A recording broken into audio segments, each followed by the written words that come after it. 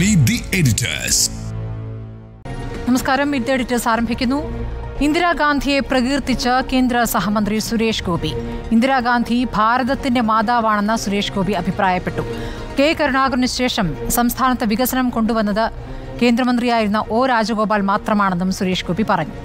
മരിച്ചവരെ പറ്റി നല്ലത് പറഞ്ഞതായിരിക്കാമെന്നായിരുന്നു സുരേഷ് ഗോപിയുടെ പ്രസ്താവനയോടുള്ള ബി സംസ്ഥാന അധ്യക്ഷൻ കെ സുരേന്ദ്രന്റെ പ്രതികരണം. രാവിലെ പത്മജ വേണുഗോപാലിനും പാർട്ടി പ്രവർത്തകർക്കും ഒപ്പമെത്തിയാണ് സുരേഷ് ഗോപി പുഷ്പാർച്ചന നടത്തിയത്. നായനാരും കരുണാകരനും തന്റെ രാഷ്ട്രീയ ഗുരുക്കന്മാരാണെന്നും ഗുരുത്വം നിർവഹിക്കാനാണ് താനെത്തിയതെന്നും സുരേഷ് ഗോപി പറഞ്ഞു. ഇന്ദിരാഗാന്ധി കരുണാകരൻ ഒ രാജഗോപാൽ എന്നിവരെ പുകഴ്ത്തിയ അദ്ദേഹം വികസനത്തിൽ രാഷ്ട്രീയവും പ്രാദേശികവാദവും പാടില്ലെന്നും വ്യക്തമാക്കി. വികസനം ഒരു ഡ്രക്കോണിയൻ ഷേപ്പ് എടുക്കരുത്. അതിന്റെ പശ്ചാത്തലത്തിൽ കൃത്യമായിട്ട് ഇപ്പോൾ തിരഞ്ഞെടുക്കപ്പെട്ട ഒരു പ്രതിനിധി എന്ന നിലയ്ക്ക് എന്റെ വാദമുണ്ട്. അതിനകത്ത് പ്രാദേശികത ഇല്ല. അതേസമയം സുരേഷ് ഗോപിയുടെ പ്രസ്താവന ശ്രദ്ധയിൽപ്പെട്ടിട്ടില്ലെന്ന് മുൻ കേന്ദ്രമന്ത്രി വി മുരളീധരൻ പ്രതികരിച്ചു. സുരേഷ് ഗോപി മന്ത്രി എന്ന നിലയിൽ പറഞ്ഞതാകാമെന്നും മുരളീധരൻ പറഞ്ഞു. സുരേഷ് ഗോപി മന്ത്രി എന്നുള്ള നിലയിൽ അദ്ദേഹം ധാരാളം കാര്യങ്ങൾ പല കാര്യങ്ങളും പറയുന്നുണ്ടാവും. ആ പറയുന്ന കാര്യങ്ങൾ എന്താണെന്നുള്ളത് ഞാൻ വ്യാഖ്യാനിക്കേണ്ട കാര്യമില്ലല്ലോ. അത് അദ്ദേഹം തന്നെ പറയും. അദ്ദേഹം എന്തെങ്കിലും പറഞ്ഞിട്ടുണ്ടെങ്കിൽ. എനിക്കറിയില്ല അദ്ദേഹം പറഞ്ഞ വാക്കുകൾ എന്താണ്. സുരേഷ് ഗോപിയുടെ ഇന്ദിരാ കരുണാകരൻ പരാമർശത്തെ ന്യായീകരിച്ച് ബി ജെ പി സംസ്ഥാന അധ്യക്ഷൻ കെ സുരേന്ദ്രൻ രംഗത്തെത്തി. മരിച്ചവരെക്കുറിച്ച് നല്ല വാക്കുകൾ പറയുന്നത് രാഷ്ട്രീയമായി കാണേണ്ട കാര്യമില്ലെന്നും സുരേന്ദ്രൻ പറഞ്ഞു. മരണപ്പെട്ടുപോയ മുഖ്യമന്ത്രിമാരെക്കുറിച്ചും പ്രധാനമന്ത്രിമാരെക്കുറിച്ചുമൊക്കെ നല്ല വാക്കുകൾ പറയുന്നതിൽ എന്തെങ്കിലും രാഷ്ട്രീയം കാണണം എന്ന് നാം വിചാരിക്കേണ്ട ആവശ്യമില്ല. റിപ്പോർട്ടർ തൃശൂർ. ഇന്ദിരാഗാന്ധിയെ എടുത്തോ എന്നതാണ് ചോദ്യം.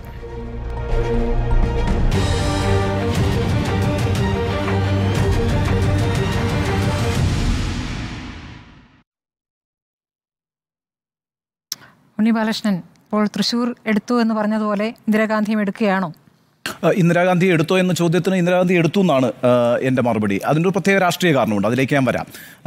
മുമ്പൊക്കെ സുരേഷ് ഗോപി പറയുന്ന കാര്യങ്ങളെ അത്ര ഗൗരവത്തോടെ എടുത്തിട്ടുള്ള ഒരാളല്ല ഞാൻ.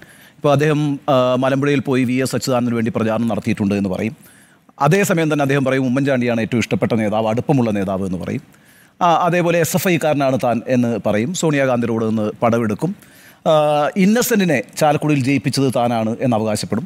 ഈ രീതിയിലൊക്കെയുള്ള പ്രസ്താവനകൾ നടത്തിക്കൊണ്ടിരുന്ന ഒരാളാണ് സുരേഷ് ഗോപി. അദ്ദേഹത്തെ ഞാൻ ഗൗരവത്തിൽ കണ്ടിട്ടില്ല. പക്ഷേ ഈ കഴിഞ്ഞ ദിവസങ്ങളിൽ സുരേഷ് ഗോപി നടത്തിക്കൊണ്ടിരിക്കുന്ന ഇടപെടലുകൾ അത് അത്ര ലളിതവും നിഷ്കളങ്കവുമാണ് എന്ന് ഞാൻ വിചാരിക്കുന്നില്ല. അതൊരു രാഷ്ട്രീയ പദ്ധതിയായി മനസ്സിലാക്കാനാണ് ഞാൻ ആഗ്രഹിക്കുന്നത്. അതിനൊരു കാരണമുണ്ട്. നോക്കൂ ഇപ്പോൾ ഇ കെ നയനാറിന്റെ വീട്ടിലേക്ക് പോവുക. ഇ കെ നയനാർ എന്ന് പറയുന്നയാൾ കമ്മ്യൂണിസ്റ്റുകാരുടെ മാത്രം ഒരു നേതാവല്ല. കേരളം കണ്ട എക്കാലത്തെയും ഏറ്റവും ജനപ്രിയരായ നേതാക്കളിൽ ഒരാൾ തന്നെയാണ് ഇ കെ നയനാർ എന്ന് പറയുന്നത്. മലയാളികൾക്ക് നയനാരോട് ഒരു സെന്റിമെൻസ് ഉണ്ട്. ഒരു വൈകാരികമായ അടുപ്പമുണ്ട്. ഇപ്പോൾ നമ്മളൊക്കെ ഏഷ്യാനെറ്റിലുള്ള സമയത്താണല്ലോ മുഖ്യമന്ത്രിയോട് ചോദിക്കാമെന്ന പരിപാടി ആരംഭിക്കുന്നത്. ഞാൻ ആ പരിപാടി ആങ്കർ ചെയ്തിട്ടുണ്ട്. എനിക്കറിയാം ആ, ഫോൺ കോളുകളുടെ ഒരു തിക്കിത്തിരക്കെന്ന് പറയുന്നത്. അന്ന് കേരളത്തിലെ ടെലിവിഷന്റെ ചരിത്രത്തിലെ ഏറ്റവും റേറ്റിംഗ് ഉള്ള പരിപാടി എന്ന് പറയുന്നത് നയനാരുടെ ആ പരിപാടിയായിരുന്നു. മുഖ്യമന്ത്രിയോട് ചോദിക്കാമെന്നുള്ള പരിപാടിയായിരുന്നു. അപ്പോൾ അത് പിന്നീട് നമ്മുടെ കേരളത്തിലെ എല്ലാ ഉത്സവ പറമ്പുകളിലും ഒരു ഒരു ഒരു മിമിക്രി ഐറ്റമായി പോലും മാറിയിട്ടുണ്ട്. ആ അർത്ഥത്തിൽ അത്രയും ജനപ്രിയനായ നേതാവാണ് നയനാർ എന്ന് പറയുന്നത്. ആ നയനാരുടെ വീട്ടിലേക്ക് പോവുക എന്ന് പറഞ്ഞാൽ ഒരു വൈകാരികമായ കണക്ട് ഉണ്ടാക്കുക എന്നുള്ളതാണ്. അത് വളരെ സൂക്ഷ്മതയോടുകൂടി സുരേഷ് ഗോപി ചെയ്യുന്നു എന്നുള്ളതാണ്. അതേസമയം തന്നെ അദ്ദേഹം വാടിക്കൽ രാമകൃഷ്ണന്റെ വീട്ടിലേക്ക് പോകുന്നുണ്ട്. ആരാണ് ഈ വാടിക്കൽ രാമകൃഷ്ണൻ? ആയിരത്തി തൊള്ളായിരത്തി അറുപത്തി ഒമ്പതിൽ ജനസംഘത്തിന്റെ നേതാവായിരുന്ന വാടിക്കൽ രാമകൃഷ്ണൻ കൊല്ലപ്പെട്ടു. അന്ന് ആ കൊലപാതകത്തിന് പിന്നിൽ മാർക്സിസ്റ്റുകളാണ് എന്നാണ് ആരോപണം. കേരളത്തിലെ ആദ്യത്തെ രാഷ്ട്രീയ രക്തസാക്ഷിത്വങ്ങളിൽ ഒന്നാണ് വാടിക്കൽ രാമകൃഷ്ണന്റേത് നമുക്കറിയാലോ രണ്ടായിരത്തി പതിനാലിൽ നരേന്ദ്രമോദി അധികാരത്തിൽ വന്നപ്പോൾ തന്റെ അധികാരം അദ്ദേഹം സമർപ്പിച്ചത് ആദ്യം സമർപ്പിച്ചത് കേരളത്തിലെ ബലിദാനികൾക്കായിരുന്നു. അപ്പോൾ ആ അർത്ഥത്തിൽ വാടിക്കൽ രാമകൃഷ്ണന്റെ വീട്ടിലേക്ക് പോവുക അങ്ങനെ ഒരു വൈകാരികമായ കണക്ട് ഉണ്ടാക്കുക. അവിടെയും അവസാനിക്കുന്നില്ലല്ലോ. പി പി മുകുന്ദന്റെ വീട്ടിലേക്ക് പോകുന്നു. ആരാണ് P P Mukundan? R S എസിന്റെ കേരളത്തിലെ ഏറ്റവും വിശ്വസ്തനായിട്ടുള്ള നേതാവായിരുന്നു പി പി മുകുന്ദൻ. അദ്ദേഹത്തിന്റെ വീട്ടിലേക്ക് പോകുന്നു. ടി പത്മനാഭന്റെ വീട്ടിലേക്ക് പോകുന്നു. മലയാളികൾ എക്കാലവും ആരാധനയോടുകൂടി കണ്ടിട്ടുള്ള എഴുത്തുകാരനാണ് ടി പത്മനാഭൻ. ഇതൊന്നും തന്നെ യാദൃശ്ചികമല്ലെന്നേ. ഇതെല്ലാം തന്നെ മലയാളിയുടെ ഒരു വൈകാരിക അന്തരീക്ഷത്തിലേക്ക് കടന്നു കയറാനുള്ള വലിയൊരു പദ്ധതിയുടെ ഭാഗമായിട്ടാണ് ഞാൻ മനസ്സിലാക്കുന്നത്. ഇത് വളരെ നിസ്സാരമായി നമ്മൾ കാണേണ്ടതില്ല. ഒരു കേന്ദ്രമന്ത്രിയായ ഉടനെ തന്നെ അദ്ദേഹം ചില ആളുകളുടെ വീടുകളിലേക്കൊക്കെ പോകുന്നു. വളരെ ലളിതമായി അവരുമായിട്ടൊക്കെ കൂടിക്കാഴ്ചകൾ നടത്തുന്നു. അങ്ങനെയല്ല. അതിനൊരു പൊളിറ്റിക്കലായിട്ടുള്ള ലക്ഷ്യമുണ്ട് എന്ന് തന്നെയാണ് ഞാൻ മനസ്സിലാക്കുന്നത്. ഏറ്റവും ഒടുവിൽ ഇപ്പോൾ ഇന്ദിരാഗാന്ധി ഭാരത് മാതാവാണെന്ന് പറയുന്നു. അത് ഇന്ദിരാഗാന്ധി ഭാരത മാതാവാണെന്ന് പറയുക മാത്രമല്ല കരുണാകരനാണ് കേരളം കണ്ടിട്ടുള്ള ഏറ്റവും മികച്ച ലീഡർ എന്നുകൂടി അദ്ദേഹം പറയുന്നു. അത് പത്മജ വേണുഗോപാലിനെ കൂടെ അടുത്ത് നിർത്തിക്കൊണ്ടാണ് പറയുന്നത്. ഒരു പക്ഷേ പത്മജയുടെ പറയുന്ന ബി ജെ പി എൻട്രിക്ക് ഒരു ലെജിറ്റിമൈസേഷൻ കൊടുക്കുന്നതിനപ്പുറം ഇന്ദിരാഗാന്ധിയെ അവതരിപ്പിക്കുമ്പം ഇന്ദിരാഗാന്ധിയോടുമുണ്ട് ഈ സെന്റിമെന്റ്സ് മലയാളികൾക്ക്. ഇപ്പം നിങ്ങൾ ആളുകളോട് സംസാരിച്ച് നോക്കിയാൽ രാഹുൽ ഗാന്ധിയാണോ പ്രിയങ്ക ഗാന്ധിയാണോ കോൺഗ്രസിനെ നയിക്കാൻ ഏറ്റവും മികച്ച നേതാവെന്ന് ചോദിച്ചാൽ മലയാളികൾ പറയും പ്രിയങ്ക ഗാന്ധിയാണെന്ന് പറയും. എന്താ കാര്യം എന്ന് ചോദിച്ചാൽ ഇന്ദിരാഗാന്ധി പോലെ ഇരിക്കുന്നു എന്ന് പറയും. അപ്പോൾ ആ അർത്ഥത്തിൽ ഇന്ദിരാഗാന്ധിയോട് രാഷ്ട്രീയ കക്ഷിഭേദമന്യേ ഒരു കണക്റ്റ് ഒരു വൈകാരികമായ കണക്റ്റ് മലയാളികൾക്കുണ്ട്. അവിടെയാണ് ഈ ഇന്ദിരാഗാന്ധി ഭാരത് മാതാവ് എന്ന് ഇദ്ദേഹം പറയുന്നത്. അത് ലളിതമായി കാണണ്ട ഇപ്പോൾ നമുക്കറിയാലോ ആർ എസ് എസിനെ നിരോധിച്ചത് ആരാണ് ആദ്യമായി ഇന്ത്യയിൽ നിരോധിച്ചത് സർദാർ വല്ലഭായ് പട്ടേലാണ്. അല്ലേ? ആയിരത്തി തൊള്ളായിരത്തി നാൽപ്പത്തി എട്ടിൽ മഹാത്മാഗാന്ധിയുടെ മരണശേഷം. പക്ഷേ സർദാർ വല്ലഭായ് പട്ടേലിന് വേണ്ടിയിട്ട് ഇന്ത്യയിൽ ഏറ്റവും വലിയ സ്മാരകം പണിത് ആരാണ് ഗുജറാത്ത് സർക്കാരാണ്. നരേന്ദ്രമോദി സർക്കാരാണ്. മൂവായിരം കോടി രൂപയാണ് ചെലവഴിച്ചത്. അറുന്നൂറ് അടി ഉയരമുള്ള ലോകത്തിലെ തന്നെ ഏറ്റവും വലിയ പ്രതിമയാണ് ഈ സ്റ്റാച്യു ഓഫ് യൂണിറ്റി എന്നറിയപ്പെടുന്ന സർദാർ വല്ലഭായ് പട്ടേലിന്റെ പ്രതിമ എന്ന് പറയുന്നത്. നമുക്കൊരു കൺഫ്യൂഷൻ ഉണ്ടാവില്ലേ? പട്ടേൽ ആർ എസ് എസ് ആയിരുന്നു കോൺഗ്രസ് ആയിരുന്നു എന്നൊരു ആശയക്കുഴപ്പമുണ്ടാകും. ഇതൊന്നും വളരെ ലളിതമായിട്ടുള്ള കാര്യമല്ല. അപ്പോൾ ആ അർത്ഥത്തിലൊക്കെ ഈ പറയുന്ന ഇത്തരം ചരിത്ര ബിംബങ്ങളെ സ്വാംശീകരിക്കുക അവരുമായുള്ള വൈകാരികമായ കണക്റ്റിനെ മുതലെടുക്കുക രാഷ്ട്രീയമായി മുതലെടുക്കുക. ഇപ്പോൾ സുരേഷ് ഗോപി സുരേഷ് ഗോപി അവതരിപ്പിക്കുന്നത് എങ്ങനെയാണ്? വ്യക്തിപരമായി കിട്ടിയ വോട്ടാണെന്നല്ലേ അദ്ദേഹം വിജയത്തിന് ശേഷം പറഞ്ഞത്? എനിക്ക് വ്യക്തിപരമായി ലഭിച്ച വോട്ടാണ് എന്റെ വിജയത്തിന് കാരണം എന്ന് പറഞ്ഞു അദ്ദേഹം ഇത് ആ വിജയത്തെ സംസ്ഥാന ഘടക ബി ജെ പി സംസ്ഥാന ഘടകത്തിനോ അല്ലെങ്കിൽ ബി ജെ പിയുടെ ജില്ലാ ഘടകത്തിനോ ഒന്നും ആട്രിബ്യൂട്ട് ചെയ്യാൻ നിന്നില്ല. ഞാനിവിടെ വന്നു പ്രവർത്തിച്ചു. ഞാൻ ജനങ്ങളുടെ പിന്നെ കയ്യടി നേടി അവരുടെ അംഗീകാരം നേടി വിജയിച്ചു വന്നിരിക്കുന്നു. ഒരു പ്രത്യേകതരം കോമ്പിനേഷനിൽ ഈ സുരേഷ് ഗോപി വർക്ക് ചെയ്യുന്നുണ്ട്. അഥവാ സുരേഷ് ഗോപിയിലൂടെ അത്തരം ഒരു കോമ്പിനേഷൻ ആരോ വർക്ക് ചെയ്യുന്നുണ്ട്. അതാണ് ഞാൻ ഈ പറയുന്നത്. ഈ ഇതൊരു എന്താ വെച്ചാൽ ബി ജെ പിയുടെ സംസ്ഥാനത്തെ രണ്ട് മന്ത്രിമാരെയാണ് അദ്ദേഹം വളരെ നിസാരമായി ഇന്ന് തള്ളി പറഞ്ഞത് വി മുരളീധരനും അതുപോലെ തന്നെ രാജീവ് ചന്ദ്രശേഖർ രാജീവ് ചന്ദ്രശേഖർ കർണാടകക്കാരനാണെങ്കിൽ പോലും അദ്ദേഹം ഇവിടെ കേന്ദ്രമന്ത്രിയായി തെരഞ്ഞെടുപ്പ് മത്സരിച്ച ആളാണ് അവരൊന്നും ഈ കേരളത്തിന് വേണ്ടി ഒന്നും ചെയ്തിട്ടില്ലെന്നാണ്. ഓ രാജഗോപാൽ ചെയ്തു എന്നാണ് പറഞ്ഞത്. ഏതാ പിന്നെ ലീഡർ കെ. കരുണാകരൻ കഴിഞ്ഞാൽ പിന്നെ കേരളത്തിന് ഏറ്റവും സംഭാവന നൽകിയ നേതാവ് ഓ രാജഗോപാലാണെന്ന് പറയുമ്പോൾ കണ്ണന്താനമുണ്ട് അപ്പൊ ഇതിനിടയ്ക്ക് അപ്പൊ ഈ പറയുന്ന ഇവരാരും തന്നെ ഇപ്പൊ എന്നിട്ട് ഇപ്പൊ മുരളീധരൻ ഒരു ജാള്യതയോടുകൂടി മാധ്യമങ്ങളെ കണ്ടിട്ട് അദ്ദേഹം എന്താണ് പറഞ്ഞതെന്ന് എനിക്കറിയില്ല. അതിനെ വ്യാഖ്യാനിക്കാൻ ഞാൻ ആളല്ല. അദ്ദേഹത്തിനൂടെ ഞാൻ ഇന്നലെ ഉണ്ടായിരുന്നു ഇന്നും ഉണ്ടായിരുന്നു എന്നൊക്കെ പറയേണ്ട ഒരു സാഹചര്യം വന്നിരിക്കുന്നു. എന്ന് മാത്രമല്ല ബി ജെ പി സംസ്ഥാന ഘടകത്തെ സുരേഷ് ഗോപി അംഗീകരിച്ചിട്ടേ ഇല്ലല്ലോ അദ്ദേഹത്തിന് രണ്ട് നേതാക്കളല്ലേ ഉള്ളൂ. ആ രണ്ട് നേതാക്കൾ എന്ന് പറയുന്ന അമിത്ഷായും നരേന്ദ്രമോദിയാണ്. അവർ തന്നെ വന്നിട്ടാണ് അദ്ദേഹത്തിന്റെ സ്ഥാനാർത്ഥി പ്രഖ്യാപനം നടത്തി ഇതൊക്കെ നമുക്ക് അറിയാം. അപ്പോൾ ഈ ബി ജെ പി സംസ്ഥാന ഘടകത്തെ നള്ളിഫൈ ചെയ്യുന്നു അഥവാ ഇനിയിപ്പോൾ സുരേഷ് ഗോപി എന്ന് പറയുന്ന ഒരു ബിംബത്തിലേക്ക് ബി ജെ പിയുടെ സംസ്ഥാന ഘടകം മാറേണ്ടി വരുമോ? അതാണ് പ്രശ്നം.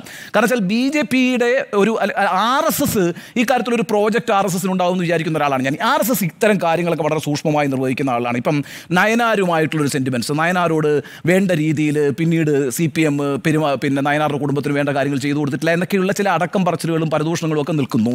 നയനാർ ഒരു സെന്റിമെൻസ് ആയി നിൽക്കുന്നു. ഇന്ദിരാഗാന്ധി ഒരു സെന്റിമെൻസ് ആയി നിൽക്കുന്നു. ഇന്ദിരാഗാന്ധിയെ ഭാരത് മാതായിട്ട് വിശേഷിപ്പിക്കുന്നു. കരുണാകരൻ കേരളം കണ്ടിട്ടുള്ള ഏറ്റവും മികച്ച ഒരു ഭരണാധികാരി മാത്രമല്ലല്ലോ. അദ്ദേഹം ഒരു നായർ ഒരു ഹിന്ദു ലീഡർ കൂടിയാണ് യഥാർത്ഥത്തിൽ. ആ ഹിന്ദു ലീഡർ ആയിരിക്കുമ്പോൾ തന്നെ ഏറ്റവും നന്നായി മതസൗഹാർദ്ദം കൈകാര്യം ചെയ്യുന്നതിൽ മികവ് കാണിച്ചിട്ടുള്ള ഭരണാധികാരിയാണെന്ന് മാത്രമല്ല ആർ എസ് എസിനെ കേരളത്തിൽ ചെറുക്കാൻ നന്നായി പണിയെടുത്തിട്ടുള്ള നേതാവ് കൂടിയാണ്. പക്ഷേ കരുണാകരനെ ഓപ്റ്റ് ചെയ്യുക. കാരണം എന്താ? കരുണാകരൻ കൃഷ്ണ ഭക്തനാണ് ഗുരുവായൂർ ഭക്തനാണ്. ആ രീതിയിലൊക്കെ പ്രത്യേകതരം ഒരു കോമ്പിനേഷൻ വർക്ക് ചെയ്ത് ഒരു വൈകാരിക അന്തരീക്ഷത്തിലേക്ക് കടന്നു കയറി ആ രീതിയിൽ ഇനി കൂടുതൽ കൂടുതൽ വികസിക്കുക എന്നുള്ള ആർ എസ് എസിന്റെ ഒരു പ്രോജക്റ്റ് ഉണ്ട്. ഞാൻ വ്യക്തിപരമായ ഒരു അനുഭവം പറയാം. വാജ്പേയി പിന്നെ വാജ്പേയെ ആർ എസ് എസിലേക്ക് കൊണ്ടുവന്ന ഒരാൾ നാഗ്പൂരിലെ ബി ജെ പിയുടെ ഹെഡ് കോ പിന്നെ ആർ എസ് എസിന്റെ ഹെഡ് ക്വാർട്ടേഴ്സിൽ അദ്ദേഹം ജീവിച്ചിരുന്ന കാലഘട്ടത്തിൽ നാഗ്പൂർ വെച്ചിട്ട് ബി ജെ പിയുടെ ദേശീയ എക്സിക്യൂട്ടീവ് യോഗം ചേർന്നു. അപ്പം ഞങ്ങൾ കുറച്ച് പത്രക്കാർ ഡൽഹിയിൽ നിന്ന് വന്നിട്ട് ഈ വാജ്പേയെ ആർ എസ് എസിലേക്ക് കൊണ്ടുവന്ന അദ്ദേഹത്തെ കാണാനായിട്ട് പോയി. അദ്ദേഹത്തെക്കുറിച്ച് വളരെ വിശദമായൊരു ലേഖനം പിന്നീട് മനോരമ പത്രത്തിൽ ഡി വിജയമോഹൻ എഴുതിയിട്ടുണ്ടായിരുന്നു. വിജയമോഹൻ മരിച്ചുപോയി. അപ്പം ഞങ്ങളിങ്ങനെ അദ്ദേഹമായിട്ട് സംസാരിച്ചപ്പോൾ എങ്ങനെയാണ് ഈ വാജ്പേയെ കണ്ടുമുട്ടിയതെന്ന് ചോദിച്ചു. അപ്പം ഇയാൾ പറഞ്ഞെന്താണെന്ന് വെച്ചാൽ അന്ന് ഗോൾവാക്കറാണ്. ഗോൾവാക്കർ പറഞ്ഞു ഗുരുജി പറഞ്ഞു ഗ്വാളിയറിലേക്ക് പോയിട്ട് ആർ എസ് എസ് കണ്ട് സംഘടിപ്പിക്കണം. അപ്പോൾ അതിന് ഞാൻ തിരഞ്ഞെടുത്തൊരു സ്ഥലം സ്കൂൾ കോളേജ് ഇവിടെ നിന്നൊക്കെ വരുന്ന വിദ്യാർത്ഥികളെ കാണാൻ പറ്റുന്ന ഒരു സ്ഥലത്ത് ഞാനിങ്ങനെ പോയി നിൽക്കും. അങ്ങനെ പോയി നിന്നിട്ട് പല ആളുകളുമായിട്ടൊരു കമ്മ്യൂണിക്കേഷൻ ഉണ്ടാവും. അങ്ങനെ വാജ്പേയെ കണ്ടുമുട്ടി. വാജ്പേയെ കണ്ടുമുട്ടിയപ്പോഴത്തേക്കും വാജ്പേയിയായിട്ട് സംസാരിച്ചു. വാജ്പേയി വായിക്കുന്ന ഒരാളാണെന്ന് മനസ്സിലായി. അപ്പോൾ ഞാൻ എന്ത് ചെയ്തു? വാജ്പേയിയുടെ വീട്ടിലേക്ക് പോയി. എന്തിനാണ് പോയത്? ഒരു പുസ്തകം വാങ്ങിക്കാനാണ് പോയത്. ഈ പുസ്തകം ഞാൻ വാങ്ങിക്കുന്നത് ഇത് വായിക്കാനല്ല വീണ്ടും അത് തിരിച്ചു കൊടുക്കാൻ ഒരിക്കൽ കൂടി എനിക്ക് അവിടെ ചെല്ലാൻ കഴിയും. ഈ രീതിയിൽ വളരെ സൂക്ഷ്മതയോടുകൂടിയാണ് ആളുകളെ തന്നെ റിക്രൂട്ട് ചെയ്യുന്നത്. ഇങ്ങനെ ഒരു പ്രോജക്റ്റ് ആർ എസ് എസ് ഉണ്ട്. ആർ എസ് എസ് ഒക്കെ വളരെ ഭംഗിയായി ചെയ്യുന്ന ഒരു സംഘടനാ സംവിധാനവും ആശയ സംവിധാനവുമാണ്. ആ അർത്ഥത്തിൽ ഇപ്പോൾ സുരേഷ് ഗോപി ഈ ചെയ്തുകൊണ്ടിരിക്കുന്ന കാര്യങ്ങളെ ഞാൻ വളരെ നിഷ്കളങ്കമായി നായനാരെ പോലെ ഒരാളെ പോയി കണ്ടു കളഞ്ഞു പത്മനാഭനെ പോലെ ഒരാളെ പോയി കണ്ടു കളഞ്ഞു. അതേസമയം തന്നെ വാടിക്കൽ രാമകൃഷ്ണന്റെ വീട്ടിലേക്ക് പോകുന്നു പി പി മോഹന്റെ വീട്ടിലേക്ക് പോകുന്നു. മുരളീ മന്ദിരത്തിൽ പോയി കരുണാകരന്റെ പറയുന്ന സ്മൃതി മണ്ഡപത്തിൽ പുഷ്പാർച്ചന നടത്തുന്നു എന്നിട്ട് ഇന്ദിരാഗാന്ധിയെ ഭാരത് മാതാവായിട്ട് വാഴ്ത്തുന്നു. ഇതൊന്നും വളരെ ലളിതമായി സംഭവിക്കുന്ന കാര്യങ്ങളല്ല. ഇതിന്റെ പിന്നിൽ ശക്തമായൊരു രാഷ്ട്രീയ പദ്ധതിയുണ്ട്. ആ രാഷ്ട്രീയ പദ്ധതി നടപ്പാക്കാൻ തിരഞ്ഞെടുത്തിരിക്കുന്നയാൾ സുരേഷ് ഗോപിയാണ്. ആ പദ്ധതി ആസൂത്രണം ചെയ്യുന്നത് ആർ എസ് എസ് ആണ്. അത് നിശ്ചയമായും ഫലം കാണും. കാരണം ഫലം കണ്ടു തുടങ്ങിയതിന്റെ സൂചനകൾ കഴിഞ്ഞ തിരഞ്ഞെടുപ്പിൽ തന്നെ ഉണ്ടായിട്ടുണ്ട്. അപ്പോൾ അതുകൊണ്ട് ഇതിനെ നിഷ്കളങ്കമായി വിലയിരുത്തുന്നതേയില്ല. ഇതൊരു രാഷ്ട്രീയ പദ്ധതിയാണ് എന്നാണ് എന്റെ ടേക്ക്. ശരി. ഇന്ദിരാഗാന്ധിയെ എടുത്തോ എന്ന ചോദ്യത്തിന് എന്റെ അഭിപ്രായത്തിൽ ഇന്ദിരാഗാന്ധിയെ എടുത്തു എന്നുള്ളതാണ് സുരേഷ് ഗോപി എടുത്തിരിക്കുന്നു. പതുക്കെ പതുക്കെ കേരളത്തിൽ ബി ജെ പിയുടെ മുഖം സുരേഷ് ഗോപിയായി മാറുകയാണ്. അപ്പുറത്ത് സുരേന്ദ്രന്റെ മുഖവും വി മുരളീധരന്റെ മുഖമൊക്കെ ഫേഡായി കൊണ്ടിരിക്കുന്നു എന്നുള്ളതാണ്. ഒരു പുതിയ ശൈലിയിലേക്ക് ഇവിടെ സുരേഷ് ഗോപി വരുമ്പോൾ അത് അരാഷ്ട്രീയ നിലപാടാണ് എന്ന് നമുക്ക് തോന്നാം. അരാഷ്ട്രീയ വോട്ടാണ് എന്നൊക്കെ അദ്ദേഹം പറയുകയും ചെയ്തിട്ടുണ്ട്. തൃശ്ശൂരിലെ വോട്ട്. അതൊരു തരത്തിൽ ശരിയുമാണ്. ബി ജെ പി വോട്ട് കൊണ്ടല്ലല്ലോ അദ്ദേഹം ജയിച്ചത്. അപ്പോൾ ഒരു പുതിയ തന്ത്രം അദ്ദേഹം സ്വീകരിച്ചിരിക്കുന്നു. അത് സുരേഷ് ഗോപി എന്ന സിനിമാ നടന്റെ ഒരു രീതിയായിട്ടാണ് ആദ്യം വ്യാഖ്യാനിച്ചത്. എല്ലാ ഇടത്തേക്കും പോകാനും എല്ലാവരും ആരാധനയോടെ നോക്കുന്നു. സ്ത്രീകളുടെ വോട്ടടക്കം. ആ സമയത്തുണ്ടായിരുന്ന വിവാദങ്ങളടക്കം യഥാർത്ഥത്തിൽ അദ്ദേഹത്തെ തെരഞ്ഞെടുപ്പിൽ സഹായിച്ചിട്ടുണ്ട് എന്നാണ് മനസ്സിലാക്കുന്നത്. നെഗറ്റീവായി വന്ന ചർച്ചകൾ അദ്ദേഹത്തിന് അത് ഗുണം ചെയ്തു എന്നുള്ള രൂപത്തിലാണ്. അത് അദ്ദേഹത്തെ ഒരു ഇരയായി കണ്ടുകൊണ്ട് വോട്ട് നേടുന്ന ഒരു രീതിയിലേക്ക് കാര്യങ്ങൾ മാറിയിട്ടുണ്ടായിരുന്നു. അപ്പോൾ അദ്ദേഹം ടി പത്മനാഭനെ കാണുന്നു. ശാരദ ടീച്ചറെ കാണുന്നു. അമ്മയാണ് എന്നാണ് പറയുന്നത്. നേരത്തെയുള്ള ബന്ധമാണ് എന്ന് പറയുന്നു. ഇപ്പോൾ കരുണാകരന്റെ സ്മൃതി കുടീരത്തിൽ പോയി. അതിനുശേഷം നടത്തിയ പ്രതികരണം കരുണാകരനെയും ആ രൂപത്തിൽ തന്നെയാണ് പറഞ്ഞിരിക്കുന്നത്. അപ്പോൾ കൃത്യമായൊരു രാഷ്ട്രീയ നിലപാടുകൂടി ഉള്ള ആളല്ല ഞാനെന്നും എല്ലാവർക്കും സ്വീകാരനായ ഒരാളാണ് എന്നും അദ്ദേഹം ഇവിടെ പറഞ്ഞു വെക്കുമ്പോൾ ഇവിടെ ബി ജെ പി കേരളത്തിൽ തുടർച്ചയായി പറഞ്ഞു വെച്ച കാര്യങ്ങൾ ഖണ്ഡിച്ചുകൊണ്ട് അദ്ദേഹം വരികയാണ് എന്നുള്ളതാണ്. മാത്രമല്ല ഇവിടെ കേരളത്തിൽ ബി ജെ പിയുടെ സ്ഥിതി നോക്കുകയാണെങ്കിൽ അങ്ങോട്ടും ഇങ്ങോട്ടും നേതാക്കൾക്കിടയിലുള്ള സ്പർദ്ധ അല്ലെങ്കിൽ ഒരാളെയും വളരാൻ അനുവദിക്കാത്ത ഒരു രീതിയാണ് ഇവിടെ ഉണ്ടായിരുന്നത്. അതിനെയൊക്കെ മറികടന്നുകൊണ്ട് കേന്ദ്രത്തിൽ നിന്നും ഇറക്കിയ നേതാവാണ് സുരേഷ് ഗോപി. അപ്പോൾ കേന്ദ്രത്തിൽ നിന്നും ഇറക്കിയ നേതാവ് ഇവിടെ തെരഞ്ഞെടുപ്പിൽ ജയിക്കുകയും ചെയ്തിരിക്കുന്നു. അപ്പോൾ കേന്ദ്രത്തിന്റെ ഉദ്ദേശം നടപ്പാക്കാനുള്ള ഒരു പദ്ധതി നടപ്പാക്കാനുള്ള ഒരാളായി തന്നെ സുരേഷ് ഗോപിയെ കാണേണ്ടി വരും. ഒരു നിഷ്കളങ്കമായ പ്രതികരണമായിട്ട് ഇതിനെ കണ്ടുകൂടാ. ഇനിയിപ്പോൾ ഇന്ദിരാഗാന്ധിയെ എടുക്കുക എന്ന് പറയുമ്പോൾ പല തരത്തിൽ പല നേതാക്കളെയും ഈ തരത്തിൽ എടുക്കാൻ ആർ എസ് എസ് തയ്യാറായിട്ടുണ്ട്. അല്ലെങ്കിൽ ഒരു തരത്തിലും ആശയങ്ങളുമായി ഒരു ബന്ധവുമില്ലാത്ത നേതാക്കളെ പോലും ഞങ്ങളുടെ സ്വന്തം എന്ന് പറയുന്ന രീതി ആർ എസ് എസിനുണ്ട് അത് ബി ജെ പിക്കുമുണ്ട്. ഇന്ദിരാഗാന്ധിയുടെ രണ്ടാം ഘട്ടം ആ തരത്തിലായിരുന്നു. ഈ സോഷ്യലിസ്റ്റ് നയങ്ങൾ നടപ്പാക്കിയ അല്ലെങ്കിൽ ദേശസാൽക്കരണ പദ്ധതികൾ നടപ്പാക്കിയ സ്വാതന്ത്ര്യത്തിന് മുന്നിലുള്ള രാജാക്കന്മാർക്ക് ഉണ്ടായിരുന്ന പെൻഷൻ നിർത്തലാക്കിയ ഇന്ദിരാഗാന്ധിയെ ആർ എസ് എസ് വെറുത്തിരുന്നു. പക്ഷേ അതിനപ്പുറം ഇന്ദിരാഗാന്ധിയെ സ്നേഹിക്കുന്ന ഒരു ഘട്ടവും ഉണ്ടായിരുന്നു. ഈ ബംഗ്ലാദേശിനെ വിമോചിപ്പിച്ച ഇന്ദിരാഗാന്ധിയെ ദുർഗ എന്നാണ് വാജ്പേയി വിശേഷിപ്പിച്ചിരുന്നത്. അതുകൂടാതെ ഈ അടിയന്തരാവസ്ഥ കാലത്ത് കുറേ ആർ എസ് എസ്സുകാർ ജയിലുണ്ടായിരുന്നു. അപ്പോൾ അന്ന് അന്നത്തെ ആർ എസ് എസ് സർസംഘ് ചാലകർ ഇന്ദിരാഗാന്ധിക്ക് കത്തെഴുതിയിട്ടുണ്ട്. അവരെ വിട്ടയക്കണം ഞങ്ങൾ നന്നായി ജീവിച്ചുകൊള്ളും പുറത്ത് പ്രശ്നങ്ങൾ ഉണ്ടാക്കില്ല എന്ന് പറഞ്ഞ് കത്തയച്ചതിനെ കുറിച്ചിട്ടുള്ള വിവരങ്ങളൊക്കെ ഇന്ത്യ ടുഡേയിൽ ഈ അടുത്തൊരു ലേഖനമായി വന്നിട്ടുണ്ട്. അപ്പോൾ അങ്ങനെ ഒരു ബന്ധം ആർ എസ് എസിന് ഇന്ദിരാഗാന്ധിയുമായിട്ട് ഉണ്ടായിരുന്നു. ഇനി ബന്ധമില്ലാത്തവരെയും എനിക്കൊപ്പമുള്ള ആളാണ് എന്ന രീതിയിൽ വ്യാഖ്യാനിക്കാൻ ഒരു ബുദ്ധിമുട്ടുമില്ല. ഇപ്പോൾ ഗാന്ധിജിയെ ഗോഡ്സെ വധിച്ച ഗാന്ധി സ്വന്തമാണെന്ന് ഇപ്പോൾ പറയാൻ ഒരു മടിയുമില്ല. അതോടൊപ്പം തന്നെ ഹിന്ദു മതത്തെ ഭീകര സംവിധാനം എന്നാണ് വിശേഷിപ്പിച്ചിരുന്നത് ബി ആർ അംബേദ്കർ. അംബേദ്കറിനെ ഇപ്പോൾ സ്വന്തമാക്കി ഇപ്പോൾ മോദിയൊക്കെ എത്ര തവണ പറഞ്ഞു കഴിഞ്ഞിരിക്കുന്നു. മാർക്സിസ്റ്റ് ആശയങ്ങൾ നെഞ്ചേറ്റിയ ഭഗത് സിംഗിനെ സ്വന്തമാണ് എന്ന് പറയുന്നു. അപ്പോൾ ആ ഓരോ രൂപത്തിലും വേറെ ആശയങ്ങൾ പിന്തുടരുന്ന നേതാക്കളെയൊക്കെ പട്ടേലിന്റെ കാര്യം നേരത്തെ ഉണ്ണി ബാലകൃഷ്ണൻ ചൂണ്ടിക്കാണിച്ചു. അപ്പോൾ ഇതൊക്കെ സ്വന്തമാക്കുന്ന ഒരു രീതി ആർ എസ് എസിനുണ്ട്. അത് പറഞ്ഞു പറഞ്ഞു പറഞ്ഞ് ചരിത്രത്തെ മറച്ചുകൊണ്ട് ഞങ്ങളുടേതാക്കി തിരുന്ന ആക്കുന്ന ഒരു ശീലം. അത് കുറച്ച് കഴിയുമ്പോൾ പുതിയ തലമുറ അല്ലെങ്കിൽ ഇപ്പോഴത്തെ ജനറേഷന് ഇവിടുത്തെ ആളല്ലേ എന്ന് തോന്നിക്കുന്ന രീതിയിൽ അത് വ്യാഖ്യാനിച്ച് വ്യാഖ്യാനിച്ച് കൊണ്ടുവരാനുള്ള ഒരു ഒരു മിടുക്ക് ആർ എസ് എസിനുണ്ട്. അതിന്റെ ഒരു ഒരു ടൂളായിട്ട് ഇപ്പോൾ ഇവിടെ സുരേഷ് ഗോപിയെ കാണുകയാണ്. അതായത് കേരളത്തിൽ ബി ജെ പി വേറൊരു തന്ത്രത്തിലേക്ക് വരുന്നു. ഇപ്പോൾ ക്രൈസ്തവർക്കിടയിലേക്ക് വന്നതുപോലെ ഈഴവ വോട്ടുകളിലേക്ക് വന്നതുപോലെ സവർഗ ക്ഷമിക്കണം സവർണ വോട്ടുകളിലേക്ക് പോകാൻ വേണ്ടി കൂടിയാണ് ഇപ്പോൾ കരുണാകരന്റെ കാര്യം പറഞ്ഞിരിക്കുന്നത്. അപ്പോൾ ആ രൂപത്തിൽ അല്ലെങ്കിൽ തന്നെ സുരേഷ് ഗോപിക്ക് ആ വോട്ടുണ്ട്. അതിലപ്പുറം കരുണാകരനെ കൂടി സ്വന്തമാക്കുന്നതിലൂടെ അതാണ് ഉദ്ദേശിക്കുന്നത്. അപ്പോൾ മരിച്ചവരെ പറ്റി നല്ലത് പറയുമായിരിക്കും എന്ന് പറയുന്നത് ഈ ഇത്തരം പ്രതികരണങ്ങൾക്കിടയിൽ എന്തു പറയണം എന്നറിയാത്തൊരു ഒരു വല്ലാത്തൊരു അവസ്ഥ ഇവിടുത്തെ പ്രാദേശികമായി ഇവിടുത്തെ നേതാക്കൾക്കുണ്ട് എന്നുള്ളതാണ്.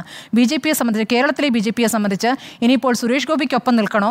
അത് സുരേഷ് ഗോപിയുടെ ശൈലി സ്വീകരിക്കണോ? അതോ സുരേഷ് ഗോപി പറഞ്ഞതിനെ തള്ളണമോ എന്നുള്ള വല്ലാത്തൊരു ഒരു ബുദ്ധിമുട്ടിലേക്ക് ഇവിടുത്തെ ബി ജെ പി പോകുന്നു എന്നുള്ള യാഥാർത്ഥ്യമുണ്ട്. അപ്പോൾ ഇന്ദിരാഗാന്ധിയെ എടുക്കാനുള്ള ശ്രമം സുരേഷ് ഗോപി നടത്തിയിരിക്കുന്നു. ഇപ്പോൾ നോക്കൂ ഇപ്പോൾ സുരേഷ് ഗോപിയുടെ പ്രതികരണങ്ങൾ ഇപ്പോൾ കേന്ദ്ര സഹമന്ത്രിയാണെന്ന നിലയ്ക്കൊക്കെ നമുക്ക് മനസ്സിലാക്കാം. പക്ഷേ കെ സുരേന്ദ്രന്റെ പ്രതികരണങ്ങൾ മങ്ങിപ്പോകുന്ന രീതിയിലേക്ക് രാഷ്ട്രീയ പ്രതികരണങ്ങൾക്കപ്പുറം കുറച്ചുകൂടി എന്താ പറയുക ഹൃദയ ഹൃദയം കൊണ്ട് സംസാരിക്കുന്ന നേതാവ് എന്ന രൂപത്തിലൊക്കെ പലരും വ്യാഖ്യാനിക്കുന്നുണ്ട്. അതിങ്ങനെ പറഞ്ഞു പറഞ്ഞു പറഞ്ഞു സുരേഷ് ഗോപി ആ രൂപത്തിലാക്കി മാറ്റും. അപ്പോൾ ബി ജെ പിക്കുള്ള ഇപ്പോൾ നിലവിലുള്ള ഒരു അസ്പൃശ്യത അതൊക്കെ മാറിക്കൊണ്ടിരിക്കുകയാണല്ലോ. മാറുന്നൊരു പ്രധാന ഘടകമായ സുരേഷ് ഗോപി ഇവിടെ മാറിയിരിക്കുന്നു. അത് ഇവിടുത്തെ ബി ജെ പി നേതൃത്വത്തിന് ഒരു അലാമിംഗ് സിറ്റുവേഷനാണ് എന്നാണ് ഞാൻ മനസ്സിലാക്കുന്നത്. M V Nikesh Kumar. നോക്കൂ സ്മൃതി ഇന്ദിരയെ ഭാരത മാതാവ് എന്ന് ബി ജെ പി ഒരിക്കലും വിശേഷിപ്പിച്ചിട്ടില്ല. ജനസംഘം ഒരിക്കലും വിശേഷിപ്പിച്ചിട്ടില്ല. കെ കരുണാകരനെ കേരളത്തിലെ കോൺഗ്രസിന്റെ പിതാവ് എന്ന് കോൺഗ്രസ്സുകാർ പോലും കരുതുന്നില്ല ബി ജെ പിയും കരുതുന്നില്ല എന്നുള്ളതാണ്. കെ കരുണാകരന് ശേഷം ഒ രാജഗോപാലാണ് വികസനത്തിൽ ഏതെങ്കിലും തരത്തിലുള്ള പങ്കാളിത്തം വഹിച്ചിട്ടുള്ളത് എന്ന് പറയുമ്പോൾ കൃത്യമായി ഇതിന് തൊട്ട് മുമ്പ് മന്ത്രിയായിട്ടുള്ള വി മുരളീധരനെ ഇകഴ്ത്തുകയാണ്. അത് മുരളീധരന്റെ അക്കാര്യത്തിലുള്ള പ്രതികരണത്തിൽ തന്നെ ഉണ്ട് എനിക്കറിയില്ല കണ്ടിട്ടില്ല കേട്ടിട്ടില്ല തുടങ്ങിയ കാര്യങ്ങൾ പറയുന്നതിലൂടെ. ചരിത്രപരമായി ജനസംഘത്തിന്റെയും ബി ജെ പിയുടെയും ഇന്ദിരാഗാന്ധിയെ സംബന്ധിച്ചിട്ടുള്ള നിലപാട് നേരത്തെ പറഞ്ഞതുപോലെയല്ല. നോക്കൂ ഇന്ദിരാഗാന്ധിയെ ദുർഗാദേവി എന്ന് എ ബി വാജ്പേയി വിശേഷിപ്പിച്ചിട്ടില്ല. ശ്യാമനന്ദൻ മിശ്ര എന്ന ഓർഗനൈസേഷൻ കോൺഗ്രസിന്റെ നേതാവാണ് ലോക്സഭയിൽ ദുർഗാദേവി എന്ന് വിശേഷിപ്പിച്ചിട്ടുള്ളത്. ഞാൻ ഡൽഹിയിൽ പ്രവർത്തിക്കുന്ന കാലഘട്ടത്തിൽ അതായത് എ ബി വാജ്പേയി പ്രധാനമന്ത്രിയായിരുന്ന വന്ന സമയത്ത് കോൺഗ്രസ് അങ്ങനെ ഒരു കാര്യം പറഞ്ഞിരുന്നു. ദുർഗാദേവി എന്ന് ഇന്ദിരാഗാന്ധിയെ വിശേഷിപ്പിച്ച ആളാണ് ഇപ്പോഴത്തെ പ്രധാനമന്ത്രി എന്ന്. മാ ദുർഗ എന്ന്. പക്ഷേ അങ്ങനെ ഉണ്ടായിട്ടില്ല എന്നും ബി ജെ പി ആ കാലഘട്ടത്തിൽ കോൺഗ്രസിനെ വെല്ലുവിളിക്കുകയും ചെയ്തിട്ടുണ്ട്. ഏതെങ്കിലും തരത്തിൽ ലോക്സഭയിലൊക്കെ ആകുമ്പോൾ അതിന്റെ രേഖയുണ്ടാവുമല്ലോ. ലോക്സഭയിൽ ആ, നിലയിലുള്ള പരാമർശം നടത്തി എന്ന് തെളിയിക്കാൻ കോൺഗ്രസ്സിന് സാധിച്ചിട്ടുമില്ല എന്നുള്ളത്. ഞാൻ അല്പം മുമ്പ് ലോക്സഭാ സെക്രട്ടറി ജനറലായിട്ടുള്ള പി ഡി ടി ആചാര്യെ വിളിച്ചു ചോദിച്ചു. അദ്ദേഹം പറയുന്നത് ആയിരത്തി തൊള്ളായിരത്തി എഴുപത്തി ഒന്നിൽ ഞാൻ ഉണ്ടായിരുന്നു അന്ന് ആ, പാർലമെന്റിൽ കോൺഗ്രസിന്റെ ഒ കോൺഗ്രസിന്റെ നേതാവ് ശ്യാമനന്ദൻ മിശ്രയാണ് അങ്ങനെ പറഞ്ഞത് എന്നുള്ളതാണ്. പക്ഷേ ഇന്ദിരയാണ് ഇന്ത്യ ഇന്ത്യയാണ് ഇന്ദിര എന്ന് ഡി കെ ബറുവെ പോലുള്ള കോൺഗ്രസ് നേതാക്കൾ ആയിരത്തി തൊള്ളായിരത്തി എഴുപത്തി ഏഴിൽ അടിയന്തരാവസ്ഥയ്ക്ക് ശേഷം വിശേഷിപ്പിച്ചിട്ടുണ്ട്. അങ്ങനെ ഒരു എന്താ പറയുക വ്യക്തിപൂജ ഇല്ലാത്ത പാർട്ടിയൊന്നുമല്ല ആ നിലയിൽ വ്യക്തിപൂജ പരാമർശങ്ങൾ നേരത്തെ ഉണ്ടായിട്ടുണ്ട് എന്നുള്ളതാണ്. നമ്മൾ തിരിച്ച് സുരേഷ് ഗോപിയിലേക്ക് വന്നാൽ സുരേഷ് ഗോപി ഈ തരത്തിലുള്ള പരാമർശങ്ങൾ നടത്തുന്നതൊക്കെ നമ്മൾ ഈ സമീപകാലത്ത് കാണുമ്പോൾ അതിനൊരു പാറ്റേൺ ഉണ്ട് എന്നുള്ളതാണ് നമ്മൾ കാണേണ്ടത്. സുരേഷ് ഗോപിയെ സംബന്ധിച്ചിടത്തോളം എനിക്ക് രണ്ട് നേതാക്കളെ ഉള്ളൂ. ഒന്ന് വിമു അല്ല ഒന്ന് നരേന്ദ്രമോദിയും രണ്ട് അമിത്ഷായും എന്ന് പറയുന്നയാളാണ് സുരേഷ് ഗോപിയുടെ ലോഞ്ചിങ് പരിപാടിയിൽ ആഭ്യന്തരമന്ത്രി അമിത്ഷാ വേദിയിൽ വന്നതിന് ശേഷം സുരേഷ് ഗോപിക്ക് അവിടെ ചെന്ന് കയറാൻ സ്വാതന്ത്ര്യമുള്ള ഒരാളാണ്. സുരേഷ് ഗോപിയെ സംബന്ധിച്ചിടത്തോളം നേരത്തെ ഉണ്ണി ചൂണ്ടിക്കാണിച്ചതുപോലെ തന്നെ കരുണാകരനെ കരുണാകരന്റെ മാനസപുത്രനാണ് ഞാനെന്ന് കരുണാകരൻ തന്നെ വിശേഷിപ്പിച്ചിട്ടുണ്ടെന്ന് സുരേഷ് ഗോപി പറയാണ്. എന്റെ നമ്മളൊക്കെ ഒരു ഇച്ചിരി ഉളുപ്പ് വേണ്ടേ? എന്നൊക്കെ ചോദിക്കില്ലേ? എന്ന് പറയുന്ന പോലെ അദ്ദേഹം വിശേഷിപ്പിച്ചിട്ടുണ്ട് എന്ന് പറയുകയാണ് കഴിഞ്ഞ ദിവസം ശാരദ ടീച്ചറെ കാണാൻ പോയിട്ട് പറയാണ്. ശാരദ ടീച്ചർ തന്നെ പറയാണ് ഞാൻ അല്ല സുരേഷ് ഗോപി കരുണാകരനെ അച്ഛ എന്നാണ് വിളിച്ചിരുന്നത്. ശാരദ ടീച്ചറെ അമ്മ എന്നാണ് കരുണാകരൻ. നായനാരെ? നായനാരെ അച്ഛ എന്നാണ് വിളിച്ചിരുന്നത്. പിന്നെ ശാരദ ടീച്ചറെ അമ്മ എന്നാണ് വിളിച്ചിരുന്നത് എന്ന് പറഞ്ഞാൽ വേറൊരു ഒരു ഏരിയയിലാണ് സുരേഷ് ഗോപി ആ പൊളിറ്റിക്സ് കൈകാര്യം ചെയ്തുകൊണ്ടിരിക്കുന്നത് എന്നുള്ളതാണ് പ്രധാനപ്പെട്ട കാര്യം. അത് അതോടൊപ്പമാണ് ഇന്ദിരാഗാന്ധിയെക്കുറിച്ചും കെ കരുണാകരനെ കുറിച്ചുമുള്ള ഈ പരാമർശങ്ങൾ എന്നുള്ളത്. നോക്കൂ നമ്മൾ കാണേണ്ട കാര്യം എന്ന് പറഞ്ഞാൽ കെ കരുണാകരന്റെ മകളെ എ കെ ആന്റണിയുടെ മകനെ ഈ പാർട്ടിയിലേക്ക് കൊണ്ടുവന്നിട്ടുള്ളവരാണ് ബി ജെ പിക്കാർ അപ്പോൾ അവരുടെയൊക്കെ തന്നെയും വൈകാരികത അതായത് കരുണാകരനെ കുറിച്ച് മലയാളിയുടെ വൈകാരികത ആന്റണിയെക്കുറിച്ചുള്ള വൈകാരികത അത് മക്കളിലൂടെ ആണെങ്കിലും എടുക്കാൻ വേണ്ടി ശ്രമിക്കുമ്പോഴാണ് സുരേഷ് ഗോപിയുടെ ഈ ഔട്ട്റീച്ച് എന്നുള്ളത് നമ്മൾ കാണേണ്ട കാര്യമാണ്. അപ്പോൾ ഞാൻ കരുതുന്നത് അല്ലെങ്കിൽ എന്റെ ഒരു പൊളിറ്റിക്കൽ സെൻസ് വെച്ച് പരിശോധന നടത്തിയപ്പോൾ ഞാൻ മനസ്സിലാക്കിയിട്ടുള്ളത് ബി ജെ പിയെ സംബന്ധിച്ചുള്ളത് ഇപ്പോഴല്ല കേട്ടോ. അതായത് ഒരു നരേന്ദ്രമോദി ഇൻവിൻസിബിൾ ആണ് അല്ലെങ്കിൽ അപരാജിതനാണ് എന്ന് കരുതിയിരുന്ന കാലഘട്ടത്തിൽ ബി ജെ പിയെ സംബന്ധിച്ചിടത്തോളം ഒരു പ്ലാൻ ഉണ്ടായിരുന്നു. രണ്ടായിരത്തി മുപ്പത്തി ഒന്നിൽ കേരളത്തിന്റെ ഭരണം പിടിക്കുക എന്നുള്ളതാണ്. പുതിയ സാഹചര്യത്തിൽ ഇപ്പോൾ നരേന്ദ്രമോദി ഇരുന്നൂറ്റി നാൽപ്പതിൽ ഒതുങ്ങുന്നു ബി ജെ പി ഇരുന്നൂറ്റി നാൽപ്പതിൽ ഒതുങ്ങുന്നു. അപ്പോൾ ദേശീയ തലത്തിൽ ഇനി ഒരുപാട് കാര്യങ്ങളിൽ ബി ജെ പിയെ സംബന്ധിച്ചോളം ശ്രദ്ധ കേന്ദ്രീകരിക്കേണ്ടി വരും. കേരളത്തിന് ഈ പറയുന്ന രീതിയിൽ ഒരു പ്രത്യേക അജണ്ട നടപ്പിലാക്കാനുള്ള ഒരു നേരത്തെ പോലുള്ള ഒരു കംഫർട്ട് സോൺ ഇപ്പോൾ ബി ജെ പിയുടെ ദേശീയ നേതൃത്വത്തിനുണ്ടോ എന്ന് ചോദിച്ചാൽ ഇല്ല.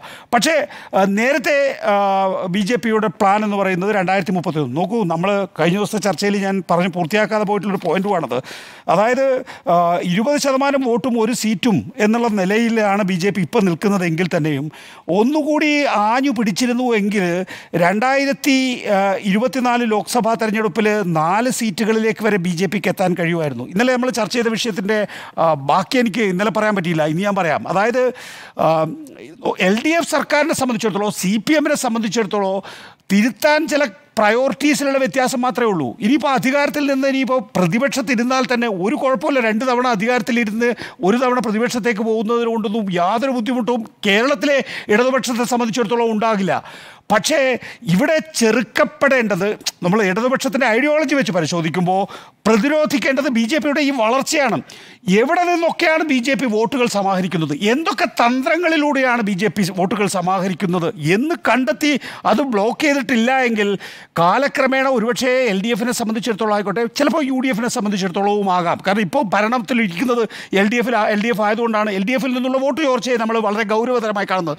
മറ്റു വോട്ടുകൾ കൂടി ബി ജെ കോൺഗ്രസിനും യു ഡി എഫിനും കിട്ടിയത് കൊണ്ട് യു ഡി എഫിലെ വോട്ട് ചോർച്ച നമ്മൾ സജീവമായി കാണുന്നില്ല. വളരെ ഗുരു ഗൗരവമുള്ള വിഷയമായി കാണുന്നില്ല. നാളെ യു ഡി എഫ് അധികാരത്തിൽ വന്നാൽ യു ഡി എഫിലെ വോട്ട് ചോർച്ച യഥാർത്ഥത്തിൽ യു ഡി എഫിനെ തന്നെ ശിഥിലമാക്കുന്ന ഒരു അവസ്ഥയിലേക്ക് പോയേക്കാമെന്നുള്ളതാണ്. അതുകൊണ്ട് യു ഡി എഫ് ആയാലും എൽ ഡി എഫ് ആയാലും പ്രധാനമായും ചർച്ച ചെയ്യുകയും ഏതെങ്കിലും തരത്തിൽ തിരുത്തൽ വരുത്തുകയും ചെയ്യേണ്ടതുണ്ട് എങ്കിൽ വളരെ കൃത്യമായി ഈ ജാതി സംഘടനകളെയും മതവർഗീയ സംഘടനകളുടെയും ഈ രാഷ്ട്രീയത്തിലെ ഇടപെടൽ ചെറുക്കുകയും ആ ചെറുക്കലിലൂടെ പുതിയ രാഷ്ട്രീയം അല്ലെങ്കിൽ തിരുത്തിക്കൊണ്ടുള്ള പുതിയ രാഷ്ട്രീയം കെട്ടിപ്പടുക്കാൻ ശ്രമിക്കുകയും ചെയ്യണം എൽ ഡി എഫും യു ഡി എഫും ചെയ്യേണ്ട കാര്യം. അതിനെ ശ്രമിച്ചില്ല എങ്കിൽ നേരത്തെ പറഞ്ഞ പോലെ തന്നെ നിലവിലെ ഇരുപത് ശതമാനം വോട്ടും ഒരു സീറ്റും നേടിയ ബി ജെ പിയെ സംബന്ധിച്ചിടത്തോളം സുരേഷ് ഗോപി എന്ന് പറയുന്ന ഈ പ്രത്യേക പ്രതിഭാസത്തിന് കേരള ജനതയ്ക്കിടയിലേക്ക് നുഴഞ്ഞു കയറാനുള്ള ശേഷി ഉണ്ടാകുന്നുള്ള നമുക്ക് തൊണ്ണൂറ്റി എട്ടിൽ നമ്മൾ കാണേണ്ട കാര്യം എന്ന് പറഞ്ഞാൽ അന്ന് എ ബി വാജ്പേയി ഒന്നുമല്ല ബി ജെ പി വിജയത്തിന്റെ ആർക്കിടെക്റ്റ് എൽ കെ അദ്വാനിയാണ്. ആ എൽ കെ അദ്വാനി ആയിരുന്നില്ല പക്ഷേ തൊണ്ണൂറ്റിയെട്ടിൽ പ്രധാനമന്ത്രിയായിട്ടുള്ളത്.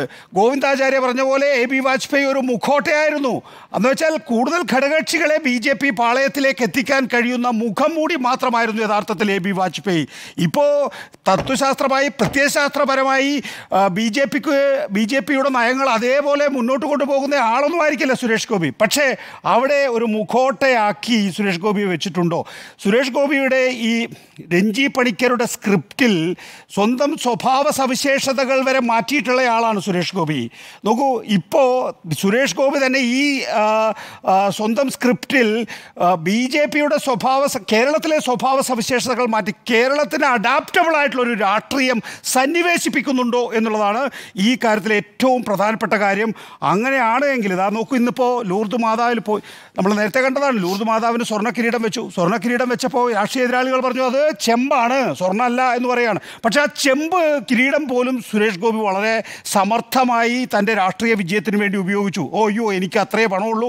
ഞാൻ ജയിച്ചു വന്നാൽ വീണ്ടും ഒരു സ്വർണ കിരീടം തന്നെ സമ്മാനിക്കൂ. ഇതിപ്പോൾ സ്വർണ കൊന്ത സമർപ്പിച്ചിട്ട് നന്ദിയിൽ പാടുന്നു ദൈവമേ എന്ന് പാട്ട് അത് കഴിഞ്ഞതിന് ശേഷം കൃത്യമായ കുരിശുവര ഇതാണ് ബി ജെ പിയുടെ ഒരു ഫോർമുല എന്ന് പറഞ്ഞു. ഗോവയിൽ എന്താണോ പരീക്ഷിച്ച് വിജയിച്ചിട്ടുള്ളത് ഹിന്ദു വോട്ടുകൾ ഒപ്പം തന്നെ ക്രിസ്ത്യൻ വോട്ടുകൾ കൂടി ഒപ്പം ചേർക്കുക എന്നുള്ളത് ക്രിസ്ത്യൻ വോട്ടുകൾ വെട്ടിയിൽ വീഴുമെന്ന് ബി ജെ പി ഉറപ്പാക്കി കഴിഞ്ഞു. അതിന്റെ നന്ദി സൂചകമായിട്ടാണ് ജോർജ് കുര്യൻ മന്ത്രിയായിരിക്കുന്നത്. ഇനി അത് നേരത്തെയും മന്ത്രിമാരുണ്ട്. പി സി തോമസ് ആയാലും അതുപോലെ തന്നെ അൽഫോൻസ് അൽഫോൺസ് ആയാലും ഒക്കെ തന്നെയും മന്ത്രിമാരായിട്ടുണ്ട്. പക്ഷേ നോക്കൂ അവിടെ ഒരിടത്ത് പി സി തോമസിൽ പരാജയം അൽഫോൺസിൽ പരാജയപ്പെട്ടു. വേണ്ട അടുത്ത പരാ പരീക്ഷണം വരികയാണ്. വീണ്ടും ജോർജ് കുര്യനിലേക്ക് വരികയാണ്. ഇതൊന്നും നമ്മൾ ലാഘവത്തോടു കൂടി കാണരുത്. ഇതൊക്കെ രാഷ്ട്രീയ അജണ്ടയാണ്. സുരേഷ് ഗോപിയുടെ വിഡിത്തം എന്നുള്ള നിലയിലേക്ക് അതിനെ കാണരുത്. ഈ- വിഡ്ഢിത്തത്തെയൊക്കെ ചിലപ്പോൾ സുരേഷ് ഗോ ബി ജെ പിയിൽ തന്നെ ചിലപ്പോൾ എതിർപ്പുകൾ ഉണ്ടായേക്കാം. അല്ലെങ്കിൽ എന്താ പറയുക മുറുമുറുപ്പ് ഉണ്ടായേക്കാം. അതുപോലും യഥാർത്ഥത്തിൽ ബി ജെ പി നോക്കൂ ഈ മുറുമുറുപ്പുകളെയൊക്കെ അവഗണിച്ച് ഞങ്ങളിതാ മതേതര സൊക്കോൾഡ് മതേതരവാദിയായ സുരേഷ് ഗോപിയെ മുന്നോട്ട് കൊണ്ടുപോകുന്നത് കണ്ടില്ലേ എന്ന് നമ്മളെ കൊണ്ടൊക്കെ പറയുകയും ചർച്ച ചെയ്യിപ്പിക്കുകയും ചെയ്യും എന്നുള്ള ഇതൊട്ടും എന്താ പറയുക ഒട്ടും നിഷ്കളങ്കമല്ല എന്നാണ് ഞാൻ കാണുന്നത്. ശരി സുജയിലേക്ക് വരുന്നതിന് മുമ്പ് ഇടവേളയിലേക്ക് പോട്ടെ. ശരി. എടുത്തു എന്നതാണ് നമ്മുടെ ചോദ്യം ഇനി സുജയുടെ കൂടെ സുരേഷ് ഗോപി തൃശ്ശൂർ എടുക്കുമെന്ന് പറഞ്ഞത് വെച്ചാണ് ഈ ചോദ്യമെന്ന് ഞാൻ മനസ്സിലാക്കുന്നു. തൃശ്ശൂർ എടുക്കും എടുക്കുമെന്ന് പറഞ്ഞതുകൊണ്ട് ഇന്നിപ്പോൾ ഇന്ദിരാഗാന്ധിയെക്കുറിച്ച് അദ്ദേഹം പറയുമ്പോൾ ഇന്ദിരാഗാന്ധിയെ എടുത്തോ എന്നുള്ള ചോദ്യം. എനിക്ക് മനസ്സിലാക്കാൻ കഴിഞ്ഞത് കേരളവും ഇന്ത്യയും ഒക്കെ എടുക്കാൻ ഉള്ള ഒരു പുതിയ രാഷ്ട്രീയമാണ് സുരേഷ് ഗോപി ഇപ്പോൾ മുന്നോട്ട് വെക്കുന്നത്. അതായത് ഒരു സ്നേഹത്തിന്റെ രാഷ്ട്രീയമാണ്. ആരെയും തള്ളുന്നില്ല. എല്ലാവരെയും ഉൾക്കൊള്ളുന്ന എല്ലാവരെയും ചേർത്ത് നിർത്തുന്ന ഒരു രാഷ്ട്രീയമാണ് സുരേഷ് ഗോപിയിലൂടെ ഇപ്പോൾ മുന്നോട്ട് വെക്കുന്നത്. കേരളത്തിൽ താമര വിരിയില്ല മതേതര കേരളം താമരയെ അവിടെ തന്നെ ഇടും. ഒരിക്കലും ആ, വളരില്ല. എന്നൊക്കെ പറഞ്ഞുകൊണ്ടിരുന്ന നിങ്ങളിപ്പോൾ ഇവിടെ വിരിഞ്ഞ താമരയെക്കുറിച്ച് അല്ലെങ്കിൽ എം പി ആയ സുരേഷ് ഗോപി കേന്ദ്രമന്ത്രി ആയതിനെക്കുറിച്ച് ഒക്കെ ചർച്ച ചെയ്ത് ഇപ്പോൾ ഇന്ന് പറഞ്ഞ പരാമർശം വരെ ചർച്ചയാക്കുകയാണ്. അപ്പോൾ സുരേഷ് ഗോപി മന്ത്രിയായിട്ട് നോക്കുക എത്ര ദിവസമായി? ഇപ്പോഴും ചർച്ചാ വിഷയമായി ലൈംലൈറ്റിൽ തന്നെ നിൽക്കുകയാണ് സുരേഷ് ഗോപി. ഇവിടെ ഇന്ദിരാഗാന്ധി ഭാരതത്തിന്റെ മാതാവ് എന്ന ഒരു ടേം അദ്ദേഹം അത് പറയുന്നത് എവിടെയാണ് എന്നതുകൂടി നോക്കണം. ഇന്ദിരാഗാന്ധിയെ ഭാരതത്തിന്റെ മാതാവ് എന്ന് കാണുന്നത് പോലെ ലീഡർ കെ കരുണാകരൻ. അങ്ങനെയാണ് ആ വാചകം പോകുന്നത്. ലീഡർ കെ കരുണാകരനെ ധീരനായ ഒരു ഭരണകർത്താവ് എന്ന നിലയ്ക്കുള്ള തന്റെ ആരാധനയെക്കുറിച്ചാണ് അദ്ദേഹം പറഞ്ഞുകൊണ്ടിരിക്കുന്നത്. കെ കരുണാകരന്റെ മാനസപുത്രൻ എന്ന് സുരേഷ് ഗോപി പറയുമ്പോൾ അങ്ങനെ വിളിക്കാൻ പാടില്ല ഞങ്ങളുടെ അച്ഛനാണ് എന്ന് പറഞ്ഞ് എതിർക്കാൻ അവകാശമുള്ള രണ്ടേ രണ്ട് പേരെ ഇന്ന് ഈ ഭൂമുഖത്തുള്ളൂ. ഒന്ന് കെ മുരളീധരനാണ് ഒന്ന് പത്മജ വേണുഗോപാലാണ്. അതിൽ കെ മുരളീധരൻ രാഷ്ട്രീയമായി ഇപ്പുറത്തെ ചേരിയിലാണ് എതിർ സ്ഥാനാർത്ഥിയായിരുന്നു. എന്നിട്ടും ഈ നിമിഷം വരെ കെ മുരളീധരന്റെ ഈ വിഷയത്തിൽ ഒരു കമന്റ് വന്നിട്ടില്ല എന്നുള്ളത് ശ്രദ്ധേയമാണ്. പത്മജ വേണുഗോപാൽ ആകട്ടെ രണ്ടായിരത്തി പത്തൊൻപതിൽ ഇതേ ആവശ്യം ഞാൻ മുന്നോട്ട് വെച്ചിരുന്നു എന്നാണ് സുരേഷ് ഗോപി പറയുന്നത്. രണ്ടായിരത്തി പത്തൊൻപതിൽ അനുമതി ചോദിച്ചപ്പോൾ പത്മജ വേണുഗോപാൽ പത്മജ ചേച്ചി രാഷ്ട്രീയം പറഞ്ഞ് വിലക്കി എന്നാണ് സുരേഷ് ഗോപിയുടെ പ്രതികരണം. അന്ന് പത്മജ കോൺഗ്രസിലായിരുന്നു അന്ന് പത്മജ പത്മജ പറഞ്ഞത് എന്റെ പാർട്ടിക്കാരോട് ഞാൻ എന്ത് പറയും? അത് തെറ്റല്ലേ സുരേഷേ? എന്ന് ചോദിച്ചു എന്നാണ് സുരേഷ് ഗോപി പറയുന്നത്.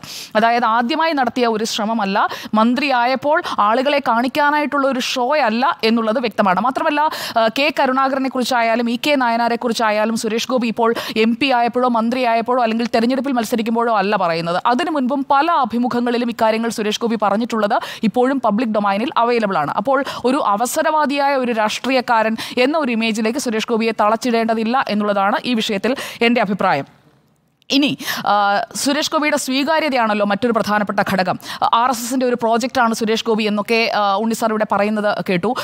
ആർ എസ് എസിന്റെ പ്രോജക്റ്റുകളിൽ ഒന്നായിരിക്കാം സുരേഷ് ഗോപി. അതിനുള്ള സാധ്യതയൊന്നും തള്ളിക്കളയാൻ കഴിയില്ല. കാരണം എല്ലാവരെയും ഉൾക്കൊള്ളുന്ന ഒരു രാഷ്ട്രീയം. അതാണ് ആർ എസ് എസ് എപ്പോഴും അവർ ആഗ്രഹിക്കുന്നത്. അങ്ങനെയുള്ള ഒരു രീതിയിലേക്ക് വരണം എന്ന് പലപ്പോഴും നിർദ്ദേശങ്ങളായി വരാറുമുണ്ട്. സുരേഷ് ഗോപി അങ്ങനെ ഒരു രാഷ്ട്രീയം മുന്നോട്ട് വയ്ക്കുകയാണെങ്കിൽ അതിനായിരിക്കാം ഒരുപക്ഷേ കേരളത്തിന്റെ മണ്ണിൽ കൂടുതൽ സ്വീകാര്യത കിട്ടുക. അപ്പോൾ അദ്ദേഹം മുന്നോട്ട് വയ്ക്കുന്നത് അദ്ദേഹത്തിന്റെതായ താല്പര്യങ്ങൾ ഉൾക്കൊള്ളുന്ന എല്ലാവരെയും ചേർത്ത് നിർത്തുന്ന എല്ലാ ആരാധനാലയങ്ങളിലും പോകുന്ന എല്ലാ മതവിഭാഗങ്ങൾക്കും എത്തിച്ചേരാൻ കഴിയുന്ന റീച്ചബിൾ ആയിട്ടുള്ള ഒരു കേന്ദ്രമന്ത്രി എന്ന രീതിയിലാണ് സുരേഷ് ഗോപി ഇപ്പോൾ മുന്നോട്ട് പോകുന്നത്. ഒരു മാധ്യമപ്രവർത്തകൻ സാർ എന്ന് വിളിച്ചപ്പോൾ ഞാൻ ഇപ്പോൾ മന്ത്രിയായി എന്നതുകൊണ്ട് എന്നെ എന്റെ അച്ഛൻ സാറേ എന്ന് വിളിക്കുമോ എന്നുള്ള ഒരു മറുചോദ്യമൊക്കെ അന്ന് ചോദിക്കുന്നത് കണ്ട ആ ഒരു സുരേഷ് ഗോപി ഫേക്ക് ആണ് എന്ന് ഞാൻ കരുതുന്നില്ല. ഫേക്ക് ആണ് എന്ന് പറഞ്ഞ് അങ്ങനെ സ്ഥാപിക്കണമെന്നുള്ള ആളുകൾക്ക് അങ്ങനെ ആവുകയും ചെയ്യാം. ഇന്നത്തെ ഈ സ്വർണ ജപമാല കൊന്ത സമർപ്പിച്ചുകൊണ്ട് ലൂതുമാതാവിന് മുന്നിലെത്തി പ്രാർത്ഥിച്ച് താഴെ അടിപ്പള്ളിയിലെത്തി സുരേഷ് ഗോപി പാടുന്നത്. അത് ആ സ്തുതിഗീതം എന്ന് പറയുന്നത് കഴിഞ്ഞ ഈസ്റ്ററിന് റിലീസ് ചെയ്തതാണ്. സുരേഷ് ഗോപിയും ഭാര്യ രാധികയും ചേർന്ന് പാടിയ ഈ പാട്ട് ഈസ്റ്ററിന് പുറത്തിറങ്ങിയതാണ്. ഫാദർ ഡോക്ടർ ജോയൽ പണ്ടാരപ്പറമ്പിൽ എഴുതിയ വരികൾ അന്ന് തന്നെ ചർച്ചയായതാണ്. എല്ലാ മാധ്യമങ്ങളിലും വാർത്തയായതാണ്. അത് മന്ത്രിസ്ഥാനം ഏറ്റതിന് ശേഷം വന്ന് ഈ സ്വർണക്കൊന്ത അണിയിച്ച് താഴെ അടിപ്പള്ളിയിലെത്തി ഈ ഗാനം ആലപിക്കുമ്പോൾ അതിൽ പറയുന്നത് ത്യാഗത്തെക്കുറിച്ചാണ് അല്ലെങ്കിൽ നേരിട്ട പീഡനങ്ങളെക്കുറിച്ചാണ്. അത് സുരേഷ് ഗോപിയുടെ വഴിയിലും നമ്മൾ കണ്ടതല്ലേ? നേരത്തെ സ്മൃതിമാടം കൃത്യമായി സൂചിപ്പിച്ചതുപോലെ ഒരുപാട് വിവാദങ്ങളെ അല്ലാതെ വേറെ ആരും വെട്ടിത്തൊളിച്ചു കൊടുത്ത ഒരു പട്ടുമെത്തയിലൂടെ പതിയെ നടന്നുപോയി അങ്ങ് മന്ത്രിസ്ഥാനത്ത് ഇരിക്കുകയായിരുന്നില്ലല്ലോ സുരേഷ് ഗോപി. നന്നായി പോരാടി തന്നെയാണ് തൃശ്ശൂരിൽ വിജയിച്ചത്. അതുകൊണ്ട് നന്ദിയാൽ പാടുന്ന ദൈവമേ അൻപാർന്ന നിൻ ത്യാഗം ഓർക്കുന്നു എന്ന് പാടിയതിൽ ഒരു തെറ്റുമുള്ളതായി ഞാൻ കരുതുന്നില്ല. അത് ആരെയെങ്കിലും സുഖിപ്പിക്കാൻ വേണ്ടി പാടിയതായും ഞാൻ കരുതുന്നില്ല. ഇന്ന് കേന്ദ്രമന്ത്രി എന്ന നിലയിലാണ് കെ കരുണാകരന്റെ സ്മൃതി മണ്ഡപത്തിലേക്ക് എത്തിയത് എന്നുള്ളത് അദ്ദേഹം കൃത്യമായി പറയുന്നുണ്ട്. കാരണം അന്ന് പത്മജ വേണുഗോപാൽ മറ്റ് തന്റെ പാർട്ടിക്കാരോട് എന്ത് പറയുമെന്ന് ചോദിച്ച് തടഞ്ഞതുകൊണ്ട് അവിടേക്ക് പോയില്ല. രണ്ടായിരത്തി പത്തൊൻപതിൽ മത്സരിച്ചപ്പോൾ പോയില്ല. അപ്പം ഇന്നിപ്പോൾ പോകുന്നത് കേന്ദ്രമന്ത്രിയായിട്ടാണ് അവിടെ എത്തുന്നത്. എന്തിനാണ് എന്ന് കൂടി അദ്ദേഹം പറയുന്നുണ്ട്. വ്യക്തിയുടെ നിർവഹണം അത് ഹൃദയത്തിൽ നിന്നാണ് വരുന്നത്. അതിന് രാഷ്ട്രീയ മാനമൊന്നും കാണരുത് എന്ന അഭ്യർത്ഥന കൂടി സുരേഷ് ഗോപി ഇന്ന് മുന്നിട്ട് വെക്കുന്നുണ്ട്. അതിന്റെ കൂടി അദ്ദേഹം പറയുന്ന ഒരു വാക്കുണ്ട് ഗുരുത്വം.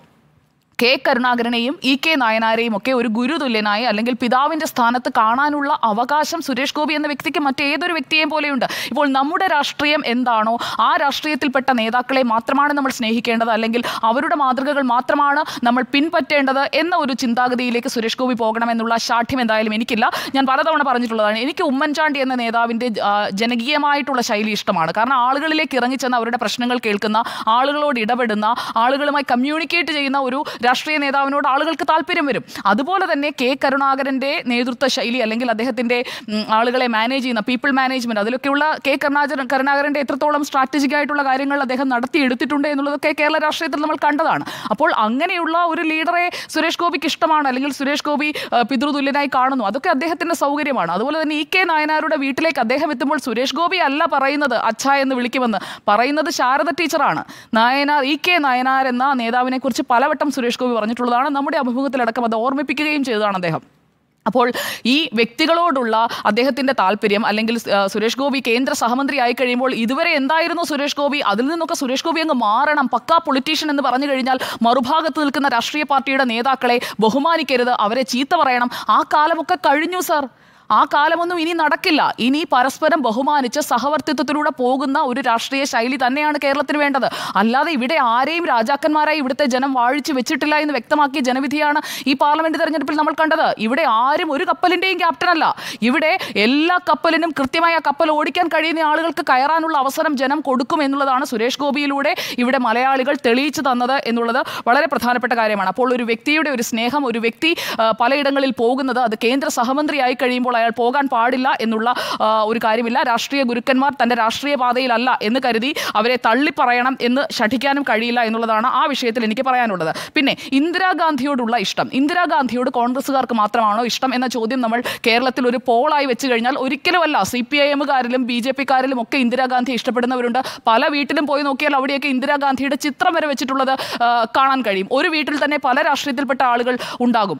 അപ്പോൾ ആ രീതിയിൽ ഇന്ദിരാഗാന്ധി ഇപ്പോഴത്തെ കോൺഗ്രസ് നേതാക്കളിൽ ചിലരെ ഇഷ്ടമല്ല എന്ന് കരുതി ഇന്ദിരാഗാന്ധിയെ അന്ന് ഇഷ്ടപ്പെട്ടിരുന്ന ആ തലമുറയിൽപ്പെട്ട ആളുകൾ അവരുടെ പിന്മുറക്കാരായി വന്ന ആളുകൾ അവർക്ക് ചിലപ്പോൾ അതേ ഇഷ്ടം തുടരുന്നുണ്ടാകും. സുരേഷ് ഗോപിക്കും ആ രീതിയിലുള്ള താല്പര്യം ഉണ്ടായിരുന്നു എന്ന് വേണം കരുതാൻ. ഒരു പൗരൻ എന്ന നിലയിലാണ് ഞാൻ പറയുന്നത്. ഒരു ബി ജെ പി നേതാവ് എന്ന നിലയിലല്ല എന്ന് സുരേഷ് ഗോപി തന്നെ പറഞ്ഞിട്ടുണ്ട് എന്നതുകൂടി ഞാൻ സൂചിപ്പിക്കുകയാണ്. ഭാരതത്തിന്റെ മാതാവ് എന്ന് സുരേഷ് ഗോപി വിളിക്കുന്നതായി ഞാൻ കേട്ടില്ല. ഞാൻ കേട്ടത് ഇന്ദിരാഗാന്ധിയെ ഭാരതത്തിന്റെ മാതാവ് എന്ന് കാണുന്നത് പോലെ ലീഡർ കെ കരുണാകരനെ ധീരനായ ഒരു ഭരണകർത്താവ് എന്ന നിലയ്ക്ക് ആരാധനയുണ്ട് എന്നാണ് അദ്ദേഹം കൃത്യമായി പറഞ്ഞത്. ഇനി രണ്ടാമത്തെ കാര്യം ബി ജെ പി വേറെ സുരേഷ് ഗോപി വേറെ. അടുത്ത ഒരു നറേറ്റീവ് സെറ്റ് ചെയ്യുന്നത് അതാണല്ലോ. അങ്ങനെയല്ല. സുരേഷ് ഗോപി കേന്ദ്ര സഹമന്ത്രിയാണ് ജോർജ് കുര്യൻ കേന്ദ്ര സഹമന്ത്രിയാണ്. ഇവർ രണ്ടുപേരും ബി ജെ പിയുടെ കേന്ദ്ര സഹമന്ത്രിമാരായിട്ടാണ് ബി ജെ പി ഭരിക്കുന്ന അല്ലെങ്കിൽ എൻ ഡി എ ഭരിക്കുന്ന മന്ത്രിസഭയിലാണ് ഇവർ അംഗങ്ങളായിരിക്കുന്നത് എന്നത് നമ്മൾ മറക്കാൻ പാടില്ല. അപ്പോൾ സംസ്ഥാന ബി ജെ പി ഘടകവും സുരേഷ് ഗോപിയും രണ്ടു തട്ടിലാണ്. കെ സുരേന്ദ്രനും വി മുരളീധരനും ഒന്നും ഇനിയൊരു വിലയും ഉണ്ടാകില്ല. അങ്ങനെയുള്ള ഒരു നറേറ്റീവിന്റെ ഒന്നും കാര്യമില്ല. ഇവരെല്ലാവരും ചേർന്ന് തന്നെയായിരിക്കും. ഇനിയിപ്പോൾ അടുത്ത ലക്ഷ്യം അവർ മുന്നിൽ വെച്ചിട്ടുണ്ട്. ആ ടാർഗറ്റിലേക്ക് പോകുന്നത് ഇവരെല്ലാവരും ചേർന്ന് തന്നെയായിരിക്കും. അതിൽ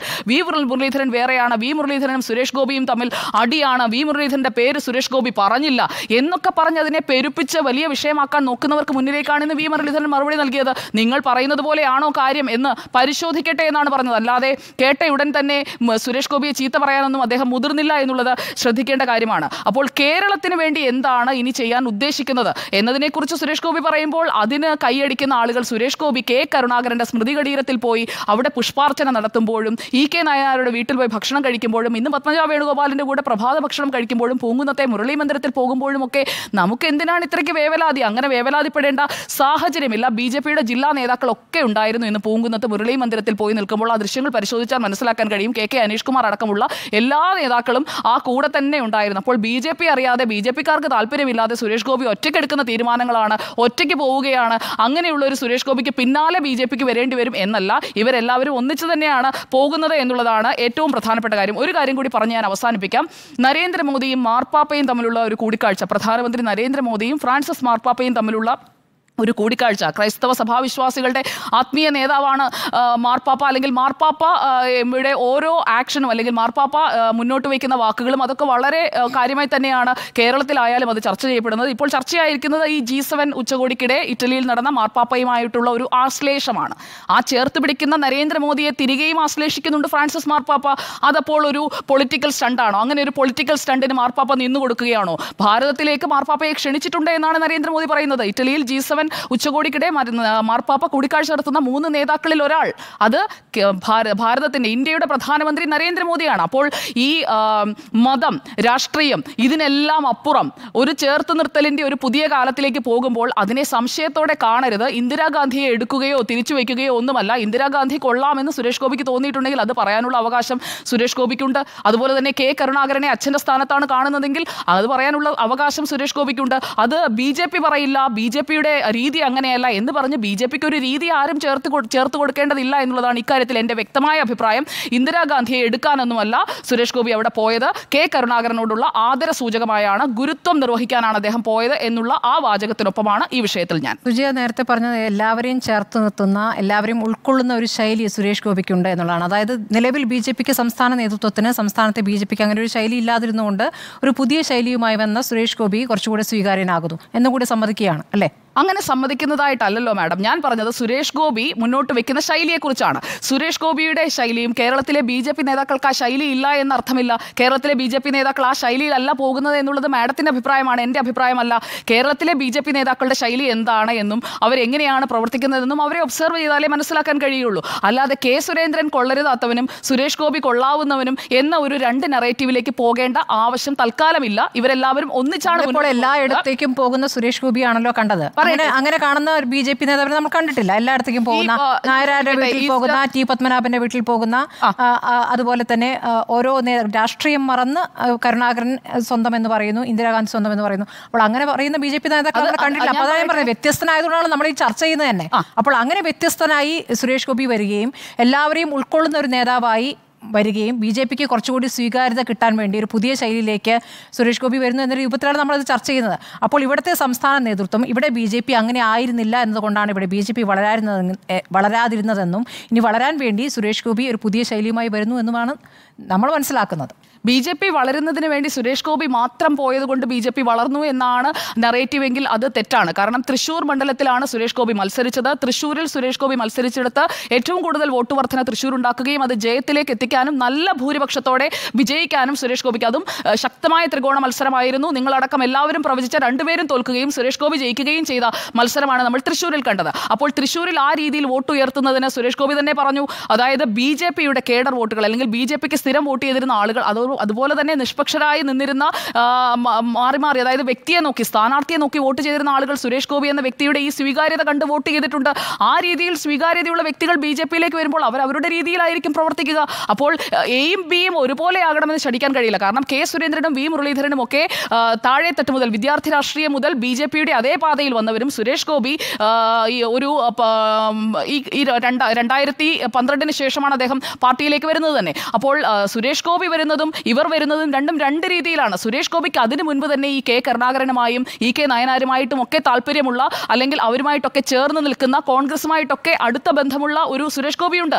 ആ സുരേഷ് ഗോപി ബി ജെ പിയിലേക്ക് വരുമ്പോൾ ഇതുവരെ എന്തായിരുന്നു അയാൾ? അതെല്ലാം അയാൾ അവിടെ ഉപേക്ഷിച്ചിട്ട് ബി ജെ പിയിൽ വന്നതിന് ശേഷം നിങ്ങൾ അതായത് ബി ജെ പിയെ കുറിച്ച് നിങ്ങളൊക്കെ കരുതുന്ന രീതിയിലുള്ള ഒരാളായി സുരേഷ് ഗോപി പെർഫോം ചെയ്യണമായിരുന്നു എന്ന് നമ്മൾ ശഠിക്കുന്നത് ശരിയല്ല. കാരണം ആ വ്യക്തി എന്താണോ ആ വ്യക്തിയുടെ മൂല്യങ്ങൾ എന്താണോ ആ വ്യക്തിയുടെ ക്വാളിറ്റീസ് എന്താണോ ആ qualities plus B J P. B J പിയുടെ സംവിധാനം അങ്ങനെയാണ് അങ്ങനെയാണ് സുരേഷ് ഗോപി കേരളത്തിൽ. ഫംഗ്ഷൻ ചെയ്തുകൊണ്ടിരിക്കുന്നത്. സുരേഷ് ഗോപി എങ്ങനെ ഫംഗ്ഷൻ ചെയ്യുന്നു എന്നുള്ള രീതി വ്യത്യസ്തമാണെന്നുള്ളതാണ് നമ്മൾ ചർച്ച ചെയ്യുന്നത്. ഉണ്ണി ബാലകൃഷ്ണൻ ഇപ്പോൾ ഈ ഒരു ശൈലി കൊണ്ട് ഇവിടെ ബി ജെ പി ഭാവിയിൽ ഇനി അങ്ങോട്ടുള്ള കാലത്ത് ബി ജെ പി മൊത്തത്തിൽ ഈ ശൈലി ഇവിടെ സംശീകരിക്കാൻ പോകുന്നു എന്ന് താങ്കൾക്ക് തോന്നുന്നുണ്ടോ? അതോ ഇത് സുരേഷ് ഗോപിയുടെ ശൈലി സുരേഷ് ഗോപിയെ വിജയിപ്പിക്കും? സുരേഷ് ഗോപിക്ക് സഹായകമാകും. അതല്ലാതെ സംസ്ഥാനത്ത് ബി ജെ പിയെ സഹായിക്കുന്ന ഒരു ഘടകമായി ഇത് മാറുമോ? ഇല്ല അങ്ങനല്ല. സുരേഷ് ഗോപി ഇപ്പോൾ ചെയ്തുകൊണ്ടിരിക്കുന്ന കാര്യങ്ങൾ അതുകൊണ്ടാണ് നേരത്തെ നികേഷ് പറഞ്ഞ പോലെ തന്നെ ഒട്ടും ലാഘവത്തോടെയും നിഷ്കളങ്കമായി നമ്മൾ കാണരുത്. സുരേഷ് ഗോപി ഒരു പൊളിറ്റിക്കൽ ബഫൂണറിയോ സുരേഷ് ഗോപി ഒരു പൊളിറ്റിക്കൽ സ്റ്റണ്ടോ ഒരു പൊളിറ്റിക്കൽ ബ്ലണ്ടറോ അല്ല ഈ സാഹചര്യത്തിൽ നമ്മൾ അതിനെ നന്നായി മനസ്സിലാക്കണം. സുരേഷ് ഗോപി എന്ന് പറയുന്ന ഒരു നല്ല പരീക്ഷണമായിരുന്നു ബി ജെ പിയുടേത്. അത് തൃശ്ശൂർ പോലൊരു സ്ഥലത്ത് സുരേഷ് ഗോപി അത് നന്നായി തെളിയിക്കുകയും ചെയ്തിട്ടുണ്ട്. എങ്ങനെയാണ് തെളിയിച്ചത്?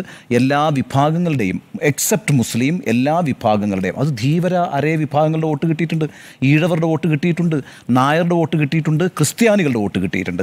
അപ്പം നല്ലൊരു പരീക്ഷണവും ആ പരീക്ഷണത്തിലൂടെ വിജയിച്ചു വരികയും ചെയ്തിട്ടുള്ള നേതാവാണ് സുരേഷ് ഗോപി. പിന്നെ സുരേഷ് ഗോപിയുടെ ആക്സെപ്റ്റൻസ് എന്താണ്? വളരെ പോപ്പുലർ ആയിട്ടുള്ള ഒരാളാണ് സുരേഷ് ഗോപി. സുരേഷ് ഗോപി നേരത്തെ സ്മൃതി തന്നെ പറയുന്നത് കേട്ടു ഹൃദയത്തിൽ നിന്ന് സംസാരിക്കുന്ന ഒരാൾ എന്നൊക്കെയുള്ള മട്ടിൽ അദ്ദേഹം അദ്ദേഹത്തെ അദ്ദേഹത്തെ ആളുകൾ കാണുന്നു. അതുപോലെ അദ്ദേഹം നടത്തിക്കൊണ്ടിരിക്കുന്ന ചാരിറ്റി വർക്കുകൾ ഇതെല്ലാം തന്നെ സുരേഷ് ഗോപിയെ ഒരു പ്രധാനപ്പെട്ട ഒരു ഒരു ഒരു ഒരു കൾട്ടാക്കി മാറ്റിയിട്ടുണ്ട്. അതുകൊണ്ടാണ് തൃശ്ശൂർ പോലൊരു മണ്ഡലത്തിൽ അവിടെ ജയിക്കാൻ കഴിഞ്ഞിട്ടുള്ളത് സുരേഷ് ഗോപിക്ക്. ഏഴ് മണ്ഡലങ്ങളും ഇടതുപക്ഷത്തോടൊപ്പം നിൽക്കുന്ന ഒരു സ്ഥലമാണ് തൃശ്ശൂർ എന്ന് പറയുന്നത്. ആ ഏഴ് മണ്ഡലങ്ങളിലും ബി ജെ പി ഒന്നാം സ്ഥാനത്താണ്.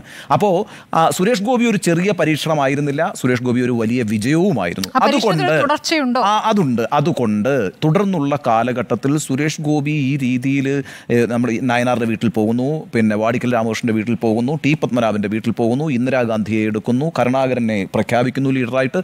ഈ രീതിയിൽ ഒരു ഒരു ഒരു കൺസെൻസസ് സ്വഭാവത്തിലേക്ക് അതായത് ബി ജെ പിയെ ഒരു റിജിഡായ സംഘടനയിൽ നിന്ന് കുറച്ചുകൂടി പ്ലാസ്റ്റിക് ആയ ഒരു സംഘടനയായിട്ട് മാറ്റുന്നു. അല്ലെങ്കിൽ അതിന് പറ്റുന്ന ഒരു മുഖത്തെ മുന്നോട്ട് വയ്ക്കാൻ പോകുന്നു. നമ്മളിപ്പോൾ സുജയെ പറയുന്നത് പോലെ ഈ പറയുന്ന സുരേഷ് ഗോപി സംസ്ഥാനത്തെ ബി ജെ പി ഘടകത്തിനോടൊപ്പം ചേർന്ന് നിൽക്കുന്ന ഒരാളായിട്ട് എനിക്ക് മനസ്സിലായിട്ടേ ഇല്ല. ഏതെങ്കിലും നിലവാരത്തിൽ ബി ജെ പിയുടെ സംസ്ഥാന ഘടകത്തിന് നിയന്ത്രിക്കാൻ കഴിഞ്ഞിട്ടുള്ളൊരു നേതാവുമായിരുന്നിട്ടില്ല സുരേഷ് ഗോപി. സുരേഷ് ഗോപിക്ക് എന്ത് ചെയ്യണമെന്ന് തോന്നുന്നു അത് സുരേഷ് ഗോപി ചെയ്യും. സുരേഷ് ഗോപി എന്ത് പറയണമെന്ന് തോന്നുന്നു അത് സുരേഷ് ഗോപി പറയും. അതിന് വി മുരളീധരന്റെയോ കെ സുരേന്ദ്രന്റെയോ ഒന്നും ഒരു അംഗീകാരം. അങ്ങനെയില്ല. ബി ജെ പോലെ ക്യാപ്റ്റനെ പേടിച്ച് നിൽക്കണ്ട. B J P is a cadre party. B J പിയെ നമ്മൾ കാണേണ്ടത് ഒരു കേഡർ സ്വഭാവമുള്ള പാർട്ടി തന്നെയാണ് ബി ജെ പി. അച്ചടക്കമുള്ള പാർട്ടിയാണ്. അവിടെ ആർക്കും കയറി എന്തും പറയാവുന്ന ഒരു സാഹചര്യമൊന്നും ബി ജെ പിയിലില്ല ബി ജെ പിയുടെ അച്ചടക്കത്തിനകത്ത് നിൽക്കുന്ന ഒരല്ല ഒരാൾ അല്ലാതിരുന്നിട്ട് കൂടിയും സുരേഷ് ഗോപി ഉയർത്തിക്കൊണ്ട് വന്നത് സുരേഷ് ഗോപിയെ ഉയർത്തിക്കൊണ്ടുവന്നത് ബി ജെ പിയുടെ അല്ലെങ്കിൽ ആർ എസ് എസിന്റെ ഒരു സംഘപരിവാറിന്റെ ഒരു പുതിയ പ്രോജക്റ്റിന്റെ ഭാഗമായിട്ടാണ്. ഈ കേരളത്തിൽ വളരെ റിജിഡായി നിന്നാലൊന്നും വളരാൻ കഴിയുന്ന ഒരു മണ്ണല്ല. വളരെ പ്രധാനപ്പെട്ട ഒരു കാര്യം വെച്ചാൽ കേരളം എന്ന് പറയുന്നത് ഒരു ഇടതുപക്ഷ മനസ്സിന് വളരെ ശക്തിയുള്ള മണ്ണാണ്. അവിടേക്ക് ഈ പറയുന്ന പിന്നെ ഒരു മാറ്റം കൊണ്ടുവരണമെങ്കിൽ ഒന്നുകിൽ യു ഡി എഫ് അല്ലെങ്കിൽ എൽ ഡി എഫ് എന്ന് പറയുന്ന മാനോഭാവത്തിൽ നിന്നൊരു മാറ്റം കൊണ്ടുവരണമെങ്കിൽ എല്ലാറ്റിനെയും ഉൾക്കൊള്ളുന്ന രീതിയിലുള്ള ചില നേതാക്കളെ ഉയർത്തിക്കൊണ്ടുവരണം ചില മുഖങ്ങളെ ഉയർത്തിക്കൊണ്ടുവരണം. അതിന്റെ ഒരു ആദ്യ ഘട്ടമായിട്ട് സുരേഷ് ഗോപിയെ കണ്ടാൽ സുരേഷ് അതുകൊണ്ടാണ് ഞാൻ പറയുന്നത് ഒരു പൊളിറ്റിക്കൽ പ്രോജക്റ്റ് ആണ് എന്നുള്ളത്. മാത്രവുമല്ല സുരേഷ് ഗോപി ഇനിയിപ്പോൾ സുരേഷ് ഗോപിയുടെ ഈ പറയുന്ന പിന്നെ കേന്ദ്രമന്ത്രി സ്ഥാനത്തിൽ സന്തോഷിക്കുന്നവരാണ് സംസ്ഥാനത്തെ ബി ഘടകമെന്നും ഞാൻ വിചാരിക്കുന്നില്ല അവർ കൂടുതൽ സന്തോഷവാന്മാരായിരിക്കുന്നത് ജോർജ് കുര്യന്റെ പിന്നെ കേന്ദ്രമന്ത്രിസഭാ പദവിയിലേക്ക് അദ്ദേഹം എത്തിയതിനെ കുറിച്ചായിരിക്കും. അതൊക്കെ ഒരു പൊളിറ്റിക്കൽ പ്രോജക്റ്റാണ് ജോർജ് കുര്യനെ ഞാൻ അംഗീകരിക്കുകയും ചെയ്യുന്നു കേട്ടോ. ഇപ്പോൾ കേന്ദ്രമന്ത്രിയായിട്ടുള്ള ആളെ നമ്മൾ അംഗീകരിക്കുന്നിട്ട് കാര്യമൊന്നുമില്ലല്ലോ. അതൊക്കെ ഒരു പാർട്ടിയുടെ നയവുമായി ബന്ധപ്പെട്ട കാര്യമാണ്. സംശയമൊന്നുമില്ല. പക്ഷേ ജോർജ് കുര്യൻ പോലെ ആയിരിക്കില്ല ഇവിടെ കേന്ദ്രമന്ത്രി എന്നുള്ള നിലയ്ക്ക് സുരേഷ് ഗോപി പെർഫോം ചെയ്യാൻ വന്നത് ജോർജ് കുര്യന്റെ എന്തെങ്കിലും ഒരു വാർത്ത നമ്മൾ കേട്ടിരുന്നോ? ഈ ദിവസങ്ങളിൽ എവിടെയെങ്കിലും ഒക്കെ അദ്ദേഹം പോകുന്നതായിട്ടോ? ഒന്നും കേട്ടിട്ടില്ലല്ലോ. ഈ ഇപ്പോൾ കഴിഞ്ഞ ദിവസം കോട്ടയം വന്ന് വന്നു വന്നു കോട്ടയത്തേക്ക് പോയി. കോട്ടയത്ത് വലിയ വലിയ സ്വീകരണമാണ് നൽകിയത്. നല്ല കാര്യം. നല്ല അതൊക്കെ സ്വാഭാവികമായി. സംഭവിക്കുന്ന കാര്യങ്ങളാണ്. മറിച്ച് സുരേഷ് ഗോപി ചെയ്തുകൊണ്ടിരിക്കുന്ന കാര്യങ്ങൾ അതൊന്നുമല്ല സുരേഷ് ഗോപി ചെയ്തുകൊണ്ടിരിക്കുന്ന കാര്യങ്ങൾ അതൊന്നുമല്ല അതുകൊണ്ടാണ് ഞാൻ പറഞ്ഞത് ഇത് ലളിതമായിട്ടും നിഷ്കളങ്കമായിട്ടും കഴിയില്ല ഇനി മുന്നോട്ടുള്ള കാലഘട്ടത്തിൽ സുരേഷ് ഗോപി ഒരു ഒരു ഒരു ടൂളായിട്ട് വരും. ആ ടൂളായിട്ട് വന്നിട്ട് നേരത്തെ നികേഷ് സൂചിപ്പിച്ച ആ വാക്ക് തന്നെ ഒരു മുഖം മൂടിയാണ് ഒരു മുഖോട്ടയാണ്. ആ രീതിയിൽ സുരേഷ് ഗോപിയെ മുന്നോട്ട് നിർത്തിക്കൊണ്ട് ഒരു വേറൊരു ഒരു ഫോർമുലയാണ് ബി ജെ പി വർക്ക് ചെയ്യാൻ പോകുന്നത്. ആ ഫോർമുല ഇവിടുത്തെ സംസ്ഥാന ഘടകം അങ്ങ് ഉൾക്കൊള്ളുമോ അല്ലെങ്കിൽ തിരസ്കരിക്കുമോ എന്നുള്ളതൊന്നും സുരേഷ് ഗോപിയുടെയും വിഷയമല്ല. ദേശീയ നേതൃത്വത്തിന്റെ വിഷയമല്ല. കാരണം എന്താ അറിയാം? ഇങ്ങനൊരു നേതൃത്വത്തിന് അല്ല? ഇതിന്റെ പ്രശ്നം എന്താ അറിയാം സുജയ? ദേശീയ നേതൃത്വത്തിന് ഒരു താല്പര്യമുള്ള ഒരു സംസ്ഥാന നേതൃത്വമൊന്നുമല്ല ബി ജെ പിയുടെ. എന്തെല്ലാം അവസരങ്ങൾ കിട്ടിയിട്ടും എന്തെല്ലാം അല്ല ഒരു കാര്യം പറയട്ടെ. ജെ പി നഡ്ഡ കഴിഞ്ഞ വർഷം തിരുവനന്തപുരത്ത് വന്നിട്ട് ഒരു സമ്മേളനം വിളിച്ചു കൂട്ടി ബി ജെ പിയുടെ. ആ സമ്മേളനത്തിൽ ജെ പി നഡ്ഡ തുറന്നു പറഞ്ഞ തുറന്നടിച്ച കാര്യം എന്താണെന്നറിയോ? ഇവിടെ ഇനി നിങ്ങൾ നന്നായി പ്രവർത്തിച്ച് സീറ്റും സംഘടിപ്പിച്ചുകൊണ്ട് വന്നില്ലെങ്കിൽ ഡൽഹിക്ക് അങ്ങോട്ട് വരണ്ടെന്നാണ് പറയുന്നത്. കാരണം വെച്ചാൽ ഇവിടെ ചെയ്യാവുന്ന പ്രവർത്തകർക്ക് കൊടുക്കാവുന്ന എല്ലാം കൊടുക്കുന്നു. അത് പൈസയായിട്ട് കൊടുക്കുന്നു. മറ്റ് സൗകര്യങ്ങളായിട്ട് കൊടുക്കുന്നു. ഈ ഭരണത്തിന്റെ സ്വാധീനം ഉണ്ടായിട്ടും ഒരു സ്ഥലത്തും വിജയിച്ചു കയറാൻ കഴിയുന്നില്ലെന്ന് മാത്രവുമല്ല ഈ പറയുന്ന വോട്ട് പെർസെന്റേജ് ഉയർത്താൻ കഴിയുന്നില്ല. പല തരത്തിലുള്ള ഇത്രയധികം ഒരധികാരവും ഇല്ലാതിരുന്നിട്ടും നാനൂറ്റമ്പത് ഗ്രൂപ്പുകളുള്ള ഏക ബി ജെ പി ഘടകം കേരളത്തിലായിരിക്കും. ഇവിടെ ഇപ്പം മധ്യപ്രദേശിൽ എത്ര കാലമായിട്ട് ഭരിക്കുക? നമ്മൾ അവിടെ കാണുന്നില്ലല്ലോ ഈ പ്രശ്നം. ഗുജറാത്തിൽ എത്ര കാലമായിട്ട് ഭരിക്കുക? അവിടെ കാണുന്നില്ലല്ലോ ഈ പ്രശ്നം. ഇതിപ്പോൾ നാല് നേതാക്കളുടെ നാല് വഴിക്കാണ് ബി ജെ പിയുടെ സംസ്ഥാന ഘടകം എന്ന് പറയുന്നത്. നമുക്ക് പരസ്യമായി തന്നെ ഓരോരുത്തർ വന്ന് ഓരോ കാര്യങ്ങൾ പറഞ്ഞിട്ടില്ലേ? ഇതെല്ലാം നമ്മുടെ മുമ്പിലില്ലേ? അങ്ങനെ ഒരു സംഘടന ഇനി ഞങ്ങൾക്ക് വേണ്ട എന്ന് കേന്ദ്ര നേതൃത്വം ഇവിടെ വന്ന് പറഞ്ഞിട്ട് പോയതാണ് കഴിഞ്ഞ വർഷം ജെ പി നഡ്ഡയാണ് അത് പറഞ്ഞത് തിരുവനന്തപുരത്തെ സമ്മേളനത്തിൽ. എതിർക്കുന്നെങ്കിൽ എതിർക്കട്ടെ ഏതെങ്കിലും ഒരു ബി ജെ പി നേതാവ് എതിർക്കട്ടെ കൃത്യമായ ഇൻഫർമേഷൻ ഈ കാര്യത്തിൽ നമുക്കുള്ളത്. അപ്പോൾ അതിനൊക്കെ ശേഷം സുരേഷ് ഗോപിയെ പോലെ ആളെ മുന്നോട്ട് വെക്കുന്നു. അദ്ദേഹം ഒരു പരീക്ഷണ അതൊരു വിജയമായി മാറുന്നു. ഇനി സ്വാഭാവികമായും സ്മൃതി ചോദിച്ച ചോദ്യത്തിന് ഞാൻ മറുപടി പറയാം. ഇതൊരു തുടർച്ചയുണ്ടാകും. This is a political project ഇതൊരു പൊളിറ്റിക്കൽ ബഫൂണറി ആയിട്ട് കാണരുത്. പൊളിറ്റിക്കൽ ബ്ലണ്ടർ ആയിട്ട് കാണരുത്. പൊളിറ്റിക്കൽ സ്റ്റണ്ടായിട്ട് കാണരുത്. സുരേഷ് ഗോപി ഒരു പരീക്ഷണമാണ് അത് തുടരുക തന്നെ ചെയ്യും. പൊളിറ്റിക്കൽ പ്രോജക്റ്റ് ആണെന്ന് പറയുന്നു. അത് നടപ്പാക്കാൻ ഇപ്പോൾ സുരേഷ് ഗോപി വന്നിരിക്കുന്നു. അപ്പോൾ ഇതേപോലെ തന്നെ ക്രൈസ്തവ സഭാ മേലധികാരികളെയൊക്കെ പോയി ഇവിടുത്തെ ബി ജെ പി നേതാക്കളും കണ്ടിട്ടുണ്ട്. പക്ഷേ അങ്ങനെ ഒരു അനക്കമൊന്നും ഉണ്ടാക്കാൻ പറ്റിയിട്ടില്ല. അത് ഇടയ്ക്ക് പോയി കാണുന്നു എന്നതുകൊണ്ട് ഇപ്പോൾ സുരേഷ് ഗോപി ഉണ്ടാക്കിയതുപോലെ ഒരു ചലനം ഈ ബാക്കിയുള്ള നേതാക്കൾക്ക് ഉണ്ടാക്കാൻ കഴിയണമെന്നുണ്ടോ? തുടർച്ച ഉണ്ടാകുന്ന ഒരാൾക്ക് ഒരാൾക്ക് ഒറ്റയ്ക്ക് പറ്റൂ? അല്ല, ഒരു വ്യാജ നിർമ്മിതി എന്ന നിലയിലേ ഞാൻ സുരേഷ് ഗോപിയെ കാണുള്ളൂ അധികാരം കണ്ട് ബി ജെ പിയിൽ എത്തിയിട്ടുള്ള ആളാണ് സുരേഷ് ഗോപി. രണ്ടായിരത്തി പതിനാല് ലോക്സഭാ തെരഞ്ഞെടുപ്പിൽ നരേന്ദ്രമോദിയാണ് അധികാരത്തിൽ വരുന്നത് എന്ന് കണ്ട് ബി ജെ പിയിൽ ചേർന്നിട്ടുള്ള ആളാണ്. ഞാനാണ് ഇതേ ടെലിവിഷൻ ചാനൽ ഇരുന്നുകൊണ്ട് ഞാനാണ് സുരേഷ് ഗോപിയെ നരേന്ദ്രമോദിയെ കണ്ട സുരേഷ് ഗോപിയെ ആദ്യമായി അഭിമുഖം നടത്തുന്നത്. സുരേഷ് ഗോപി എന്തുകൊണ്ടാണ് നരേന്ദ്രമോദിയെ സ്വീകരിച്ചിട്ടുള്ളത് എന്നൊക്കെ വ്യക്തമാക്കിയുള്ളത് നമുക്ക് ആദ്യ കാലഘട്ടത്തിൽ എസ് എഫ് ഐ ബാക്ക്ഗ്രൗണ്ടാണ് സുരേഷ് ഗോപിക്ക് എന്ന് പറയുന്നത് ക്യാമ്പസിലെ എസ് എഫ് ഐ ആണ് ഏറ്റവും വലിയ ശക്തി. അതുകൊണ്ട് എസ് എഫ് ഐ ആയി അത് കഴിഞ്ഞതിന് ശേഷം പ്രധാനമായും കോൺഗ്രസ് നേതാക്കളുടെ ആശ്രിതത്വത്തിലാണ് സുരേഷ് ഗോപി പൊളിറ്റിക്സിൽ മുന്നോട്ട് പോയിക്കൊണ്ടിരുന്നത്. ഞാൻ മനസ്സിലാക്കുന്നുണ്ട് ശരിയാണെന്ന് അറിയില്ല സുരേഷ് ഗോപി പല ഘട്ടങ്ങളിലും സീറ്റ് ആവശ്യപ്പെട്ടിട്ടുണ്ട് കോൺഗ്രസ് നേതാക്കളോട്. അപ്പോൾ കോൺഗ്രസിന്റെ ഒരു ടിക്കറ്റിൽ മത്സരിക്കാൻ ആഗ്രഹിച്ചില്ല. നേരത്തെ ഉണ്ണി ചൂണ്ടിക്കാണിച്ച പോലെ സോണിയാഗാന്ധി സോണിയാഗാന്ധിയെയൊക്കെ വലിയ നിലയിൽ വിശേഷിപ്പിക്കുകയും വാഴ്ത്തുകയും ഒക്കെ ചെയ്യുകയും സോണിയാഗാന്ധിയുടെ. പത്തിൽ പോയി കുടുംബസമേതം ഫോട്ടോ എടുക്കുകയൊക്കെ അതൊന്നും തെറ്റൊന്നുമില്ല കേട്ടോ. കുടുംബസമേതം ഫോട്ടോ എടുക്കുകയൊക്കെ ചെയ്തിട്ടുള്ള ആളാണ്. അപ്പോൾ സുരേഷ് ഗോപി പക്ഷേ രഞ്ജി പണിക്കർ ഷാജി കൈലാസ് സ്ക്രിപ്റ്റിലൂടെ സ്വന്തം വ്യക്തി സ്വഭാവ സവിശേഷതകൾ മാറ്റിയ സുരേഷ് ഗോപിയെ സംബന്ധിച്ചിടത്തോളം വളരെ എളുപ്പമാണ്. നരേന്ദ്രമോദിയുടെയും അമിത്ഷായുടെയും രചനയിലും സംവിധാനത്തിലും രാഷ്ട്രീയ സ്വഭാവം മാറ്റുക എന്നുള്ളത്. അതുകൊണ്ട് ഞാൻ പറഞ്ഞത് ഒരു വ്യാജ രാഷ്ട്രീയ വ്യക്തിത്വമാണ് സുരേഷ് ഗോപി കരുപ്പിടിക്കുന്നത് അതൊന്നും കേരളത്തിൽ നോക്കൂ ഇപ്പോൾ നമ്മൾ ഇതൊക്കെ പ്രൊജക്റ്റ് ആണെന്ന് പറയുമ്പോൾ തന്നെയും മറുഭാഗത്ത് പോക്കറ്റിൽ കീശയിട്ടിട്ടല്ല പോക്കറ്റിൽ കൈയിട്ടിട്ടല്ല ബാക്കിയുള്ള രാഷ്ട്രീയ പാർട്ടികൾ നടക്കുന്നത് സി പി എം ആണെങ്കിലും കോൺഗ്രസ് ആണ് മറുതന്ത്രങ്ങൾ ആവിഷ്കരിക്കും. ആ നിലയിലുള്ള ഒരു ഇത്തരത്തിലുള്ള ഒരു പ്രതിയോഗി വന്നാൽ നോക്കൂ രാജഗോപാൽ ആശയപരമായും ഒരു മനുഷ്യൻ എന്നുള്ള നിലയിലും ഒക്കെ തന്നെയും ബി ജെ പിക്ക് മുന്നോട്ട് കൊണ്ടുപോകാൻ കഴിയുന്ന മാതൃകാപരമായിട്ടുള്ള ഒരു നേതാവായിരുന്നു. ആ നേതാവിനെ ഒരു ഘട്ടം കഴിഞ്ഞപ്പോഴേക്കും ബി ജെ പിയുടെ പരീക്ഷണം കഴിഞ്ഞു. ആ ആ പരീക്ഷണം പൂർത്തിയാക്കി. രാജഗോപാൽ എന്ന് പറയുന്ന പരീക്ഷണം പൂർത്തിയാക്കി. എന്നതുപോലെ സുരേഷ് ഗോപിയെ സംബന്ധിച്ചിടത്തോളം അത്രപോലും ഒരു ഒരു ഒരു വാല്യൂ ഉള്ള കണ്ടന്റ് ഉള്ള നേതാവായിട്ട് ഞാൻ കാണുന്നില്ല. അതുകൊണ്ട് പരീക്ഷണം നടത്താം. പക്ഷേ മറുഭാഗത്ത് നിന്ന് അതിന് തക്കതായിട്ടുള്ള മരുന്ന് ഉണ്ടാകുമെന്ന് ഞാൻ കരുതുകയാണ്. ഒരു കാര്യം കൂടി സാർ പറഞ്ഞതിനോട് ഞാൻ ഒട്ടും തന്നെ യോജിക്കുന്നില്ല. ഞാനത് വിയോജിക്കുന്നു. കണ്ടന്റ് ഇല്ലാത്ത ഒരാളാണെങ്കിൽ തൃശ്ശൂർ എന്ന് പറയുന്നത് സാംസ്കാരിക തലസ്ഥാനമാണ്. ആ മണ്ഡലത്തിലെ വോട്ടർമാരെ നമ്മൾ അങ്ങനെ ചെറുതാക്കി കാണരുത് എന്നുള്ളതാണ് അങ്ങയോടുള്ള എന്റെ വിനയപൂർവമുള്ള വിയോജിപ്പ്. അവരെല്ലാം ഇപ്പുറത്ത് നിന്ന ഘടാഘടിയന്മാരായ രണ്ടുപേരെ എതിരിട്ട് തന്നെയാണ് സുരേഷ് ഗോപി അവിടെ വിജയിച്ചതും മന്ത്രിയായതും. പിന്നെ സുരേഷ് ഗോപി മന്ത്രിയായി കഴിയുമ്പോൾ അത് കെ സുരേന്ദ്രനും ഒന്നും ഇഷ്ടപ്പെട്ടില്ല ബി ജെ പി സംസ്ഥാന നിങ്ങളൊക്കെ പറഞ്ഞുകൊണ്ടിരുന്നത് കെ സുരേന്ദ്രനെ എത്ര തവണ സംസ്ഥാന അധ്യക്ഷ സ്ഥാനത്ത് നിന്ന് മാറ്റുന്നു മാറ്റുന്നു എന്ന് പറഞ്ഞിട്ട് ഇപ്പോൾ ആ തെരഞ്ഞെടുപ്പ് കഴിഞ്ഞു തെരഞ്ഞെടുപ്പ് ഫലം വന്നു മന്ത്രിസഭ രൂപീകരിച്ചു കെ സുരേന്ദ്രൻ സംസ്ഥാന അധ്യക്ഷ സ്ഥാനത്ത് തന്നെ തുടരുന്നുമുണ്ട്. അടുത്ത പഞ്ചായത്ത് തദ്ദേശ തെരഞ്ഞെടുപ്പുകളിലേക്കുള്ള ടാർഗറ്റ് അച്ചീവ് ചെയ്യാനായിട്ടുള്ള പരിപാടികളിലേക്ക് കടന്നിട്ടുമുണ്ട്. പിന്നെ തൃശ്ശൂരിൽ മാത്രമല്ല ഞാൻ ഇപ്പോഴും പറയുന്നു പതിനൊന്ന് നിയമസഭാ മണ്ഡലങ്ങളിൽ ഒന്നാം സ്ഥാനത്തും എട്ട് നിയമസഭാ മണ്ഡലങ്ങളിൽ രണ്ടാം സ്ഥാനത്തും എത്തിയത് ബി ജെ ആണ്. വോട്ട് ചോർന്നത് ഇടതുപക്ഷത്തിനും യു ഡി എഫിനുമാണ് അല്ലെങ്കിൽ കോൺഗ്രസിനുമാണ്. അപ്പോൾ വോട്ട് വളർച്ചയുണ്ടായിട്ടുണ്ടെങ്കിൽ അതിന്റെ ക്രെഡിറ്റ് എന്ന് പറയുന്നത് ആ എന്റയർ ബ്രിഗേഡിനാണ് അത് നയിച്ചുകൊണ്ടിരിക്കുന്നത് കെ സുരേന്ദ്രനും വി മുരളീധരനും പി കെ കൃഷ്ണദാസും ശോഭാ സുരേന്ദ്രനും എല്ലാവരും അടങ്ങുന്നതാണ്. ആറ്റിങ്ങലിൽ ശോഭയ്ക്ക് മുകളിലേക്ക് വി മുരളീധരൻ പോകില്ല എന്ന് പറഞ്ഞിട്ട് അവിടെയും അവിടെയും വോട്ട് ഉയർന്നു. എല്ലാ മണ്ഡലങ്ങളിലും വോട്ട് ഉയർന്നിട്ടുണ്ട്. അപ്പോൾ ആ വളർച്ച സുരേഷ് ഗോപി ഫാക്ടർ മാത്രമല്ല സുരേഷ് ഗോപി അദ്ദേഹത്തിന് അങ്ങനെ ഫേക്ക് ചെയ്ത് പോകേണ്ട കാര്യമൊന്നുണ്ടെന്ന് ഞാൻ കരുതുന്നില്ല. ഹീസ് ഒറിജിനൽ ഒറ്റ കാര്യം കൂടി. നോക്കൂ എം പിമാർക്ക് സ്റ്റേറ്റുകാർ കൊടുക്കുന്ന പരിപാടിയാണ് ഈ സഹമന്ത്രി. ഇപ്പോൾ ശ്രീ സുരേഷ് ഗോപിക്ക് മന്ത്രി പദവി അതായത് സഹമന്ത്രി സ്ഥാനം കൊടുത്തത് ഇപ്പോഴത്തെ മാത്രം പ്രൊജക്റ്റായി കണ്ടാൽ മതി. അടുത്ത നിയമസഭാ തെരഞ്ഞെടുപ്പിന് മുമ്പ് അദ്ദേഹത്തിന് ക്യാബിനറ്റ് കിട്ടിയാൽ അത്ഭുതപ്പെടാനില്ല. കാരണം ഇപ്പോൾ കൊടുത്തിട്ട് കാര്യമില്ല. ആ ഘട്ടത്തിൽ ഒന്നുകൂടി ഒന്ന് റെലിവേറ്റ് ചെയ്യേണ്ട ഘട്ടം വരും. അതുകൊണ്ട് ഇതൊരു പ്രൊജക്റ്റ് തന്നെയാണ്. ആ നിലയിൽ തന്നെ രാഷ്ട്രീയ എതിരാളികൾ അതിനനുസരിച്ചുള്ള അവരുടെ തന്ത്രങ്ങൾ ആവിഷ്കരിക്കുമെന്ന് ഞാൻ കരുതുകയാണ്. ശരി. ഇന്ദിരാഗാന്ധിയെ എടുത്തോ എന്നതായിരുന്നു നമ്മുടെ ചോദ്യം. യെസ് എന്ന ത്രീ നോ എന്ന ഒരാൾ. സുജയ.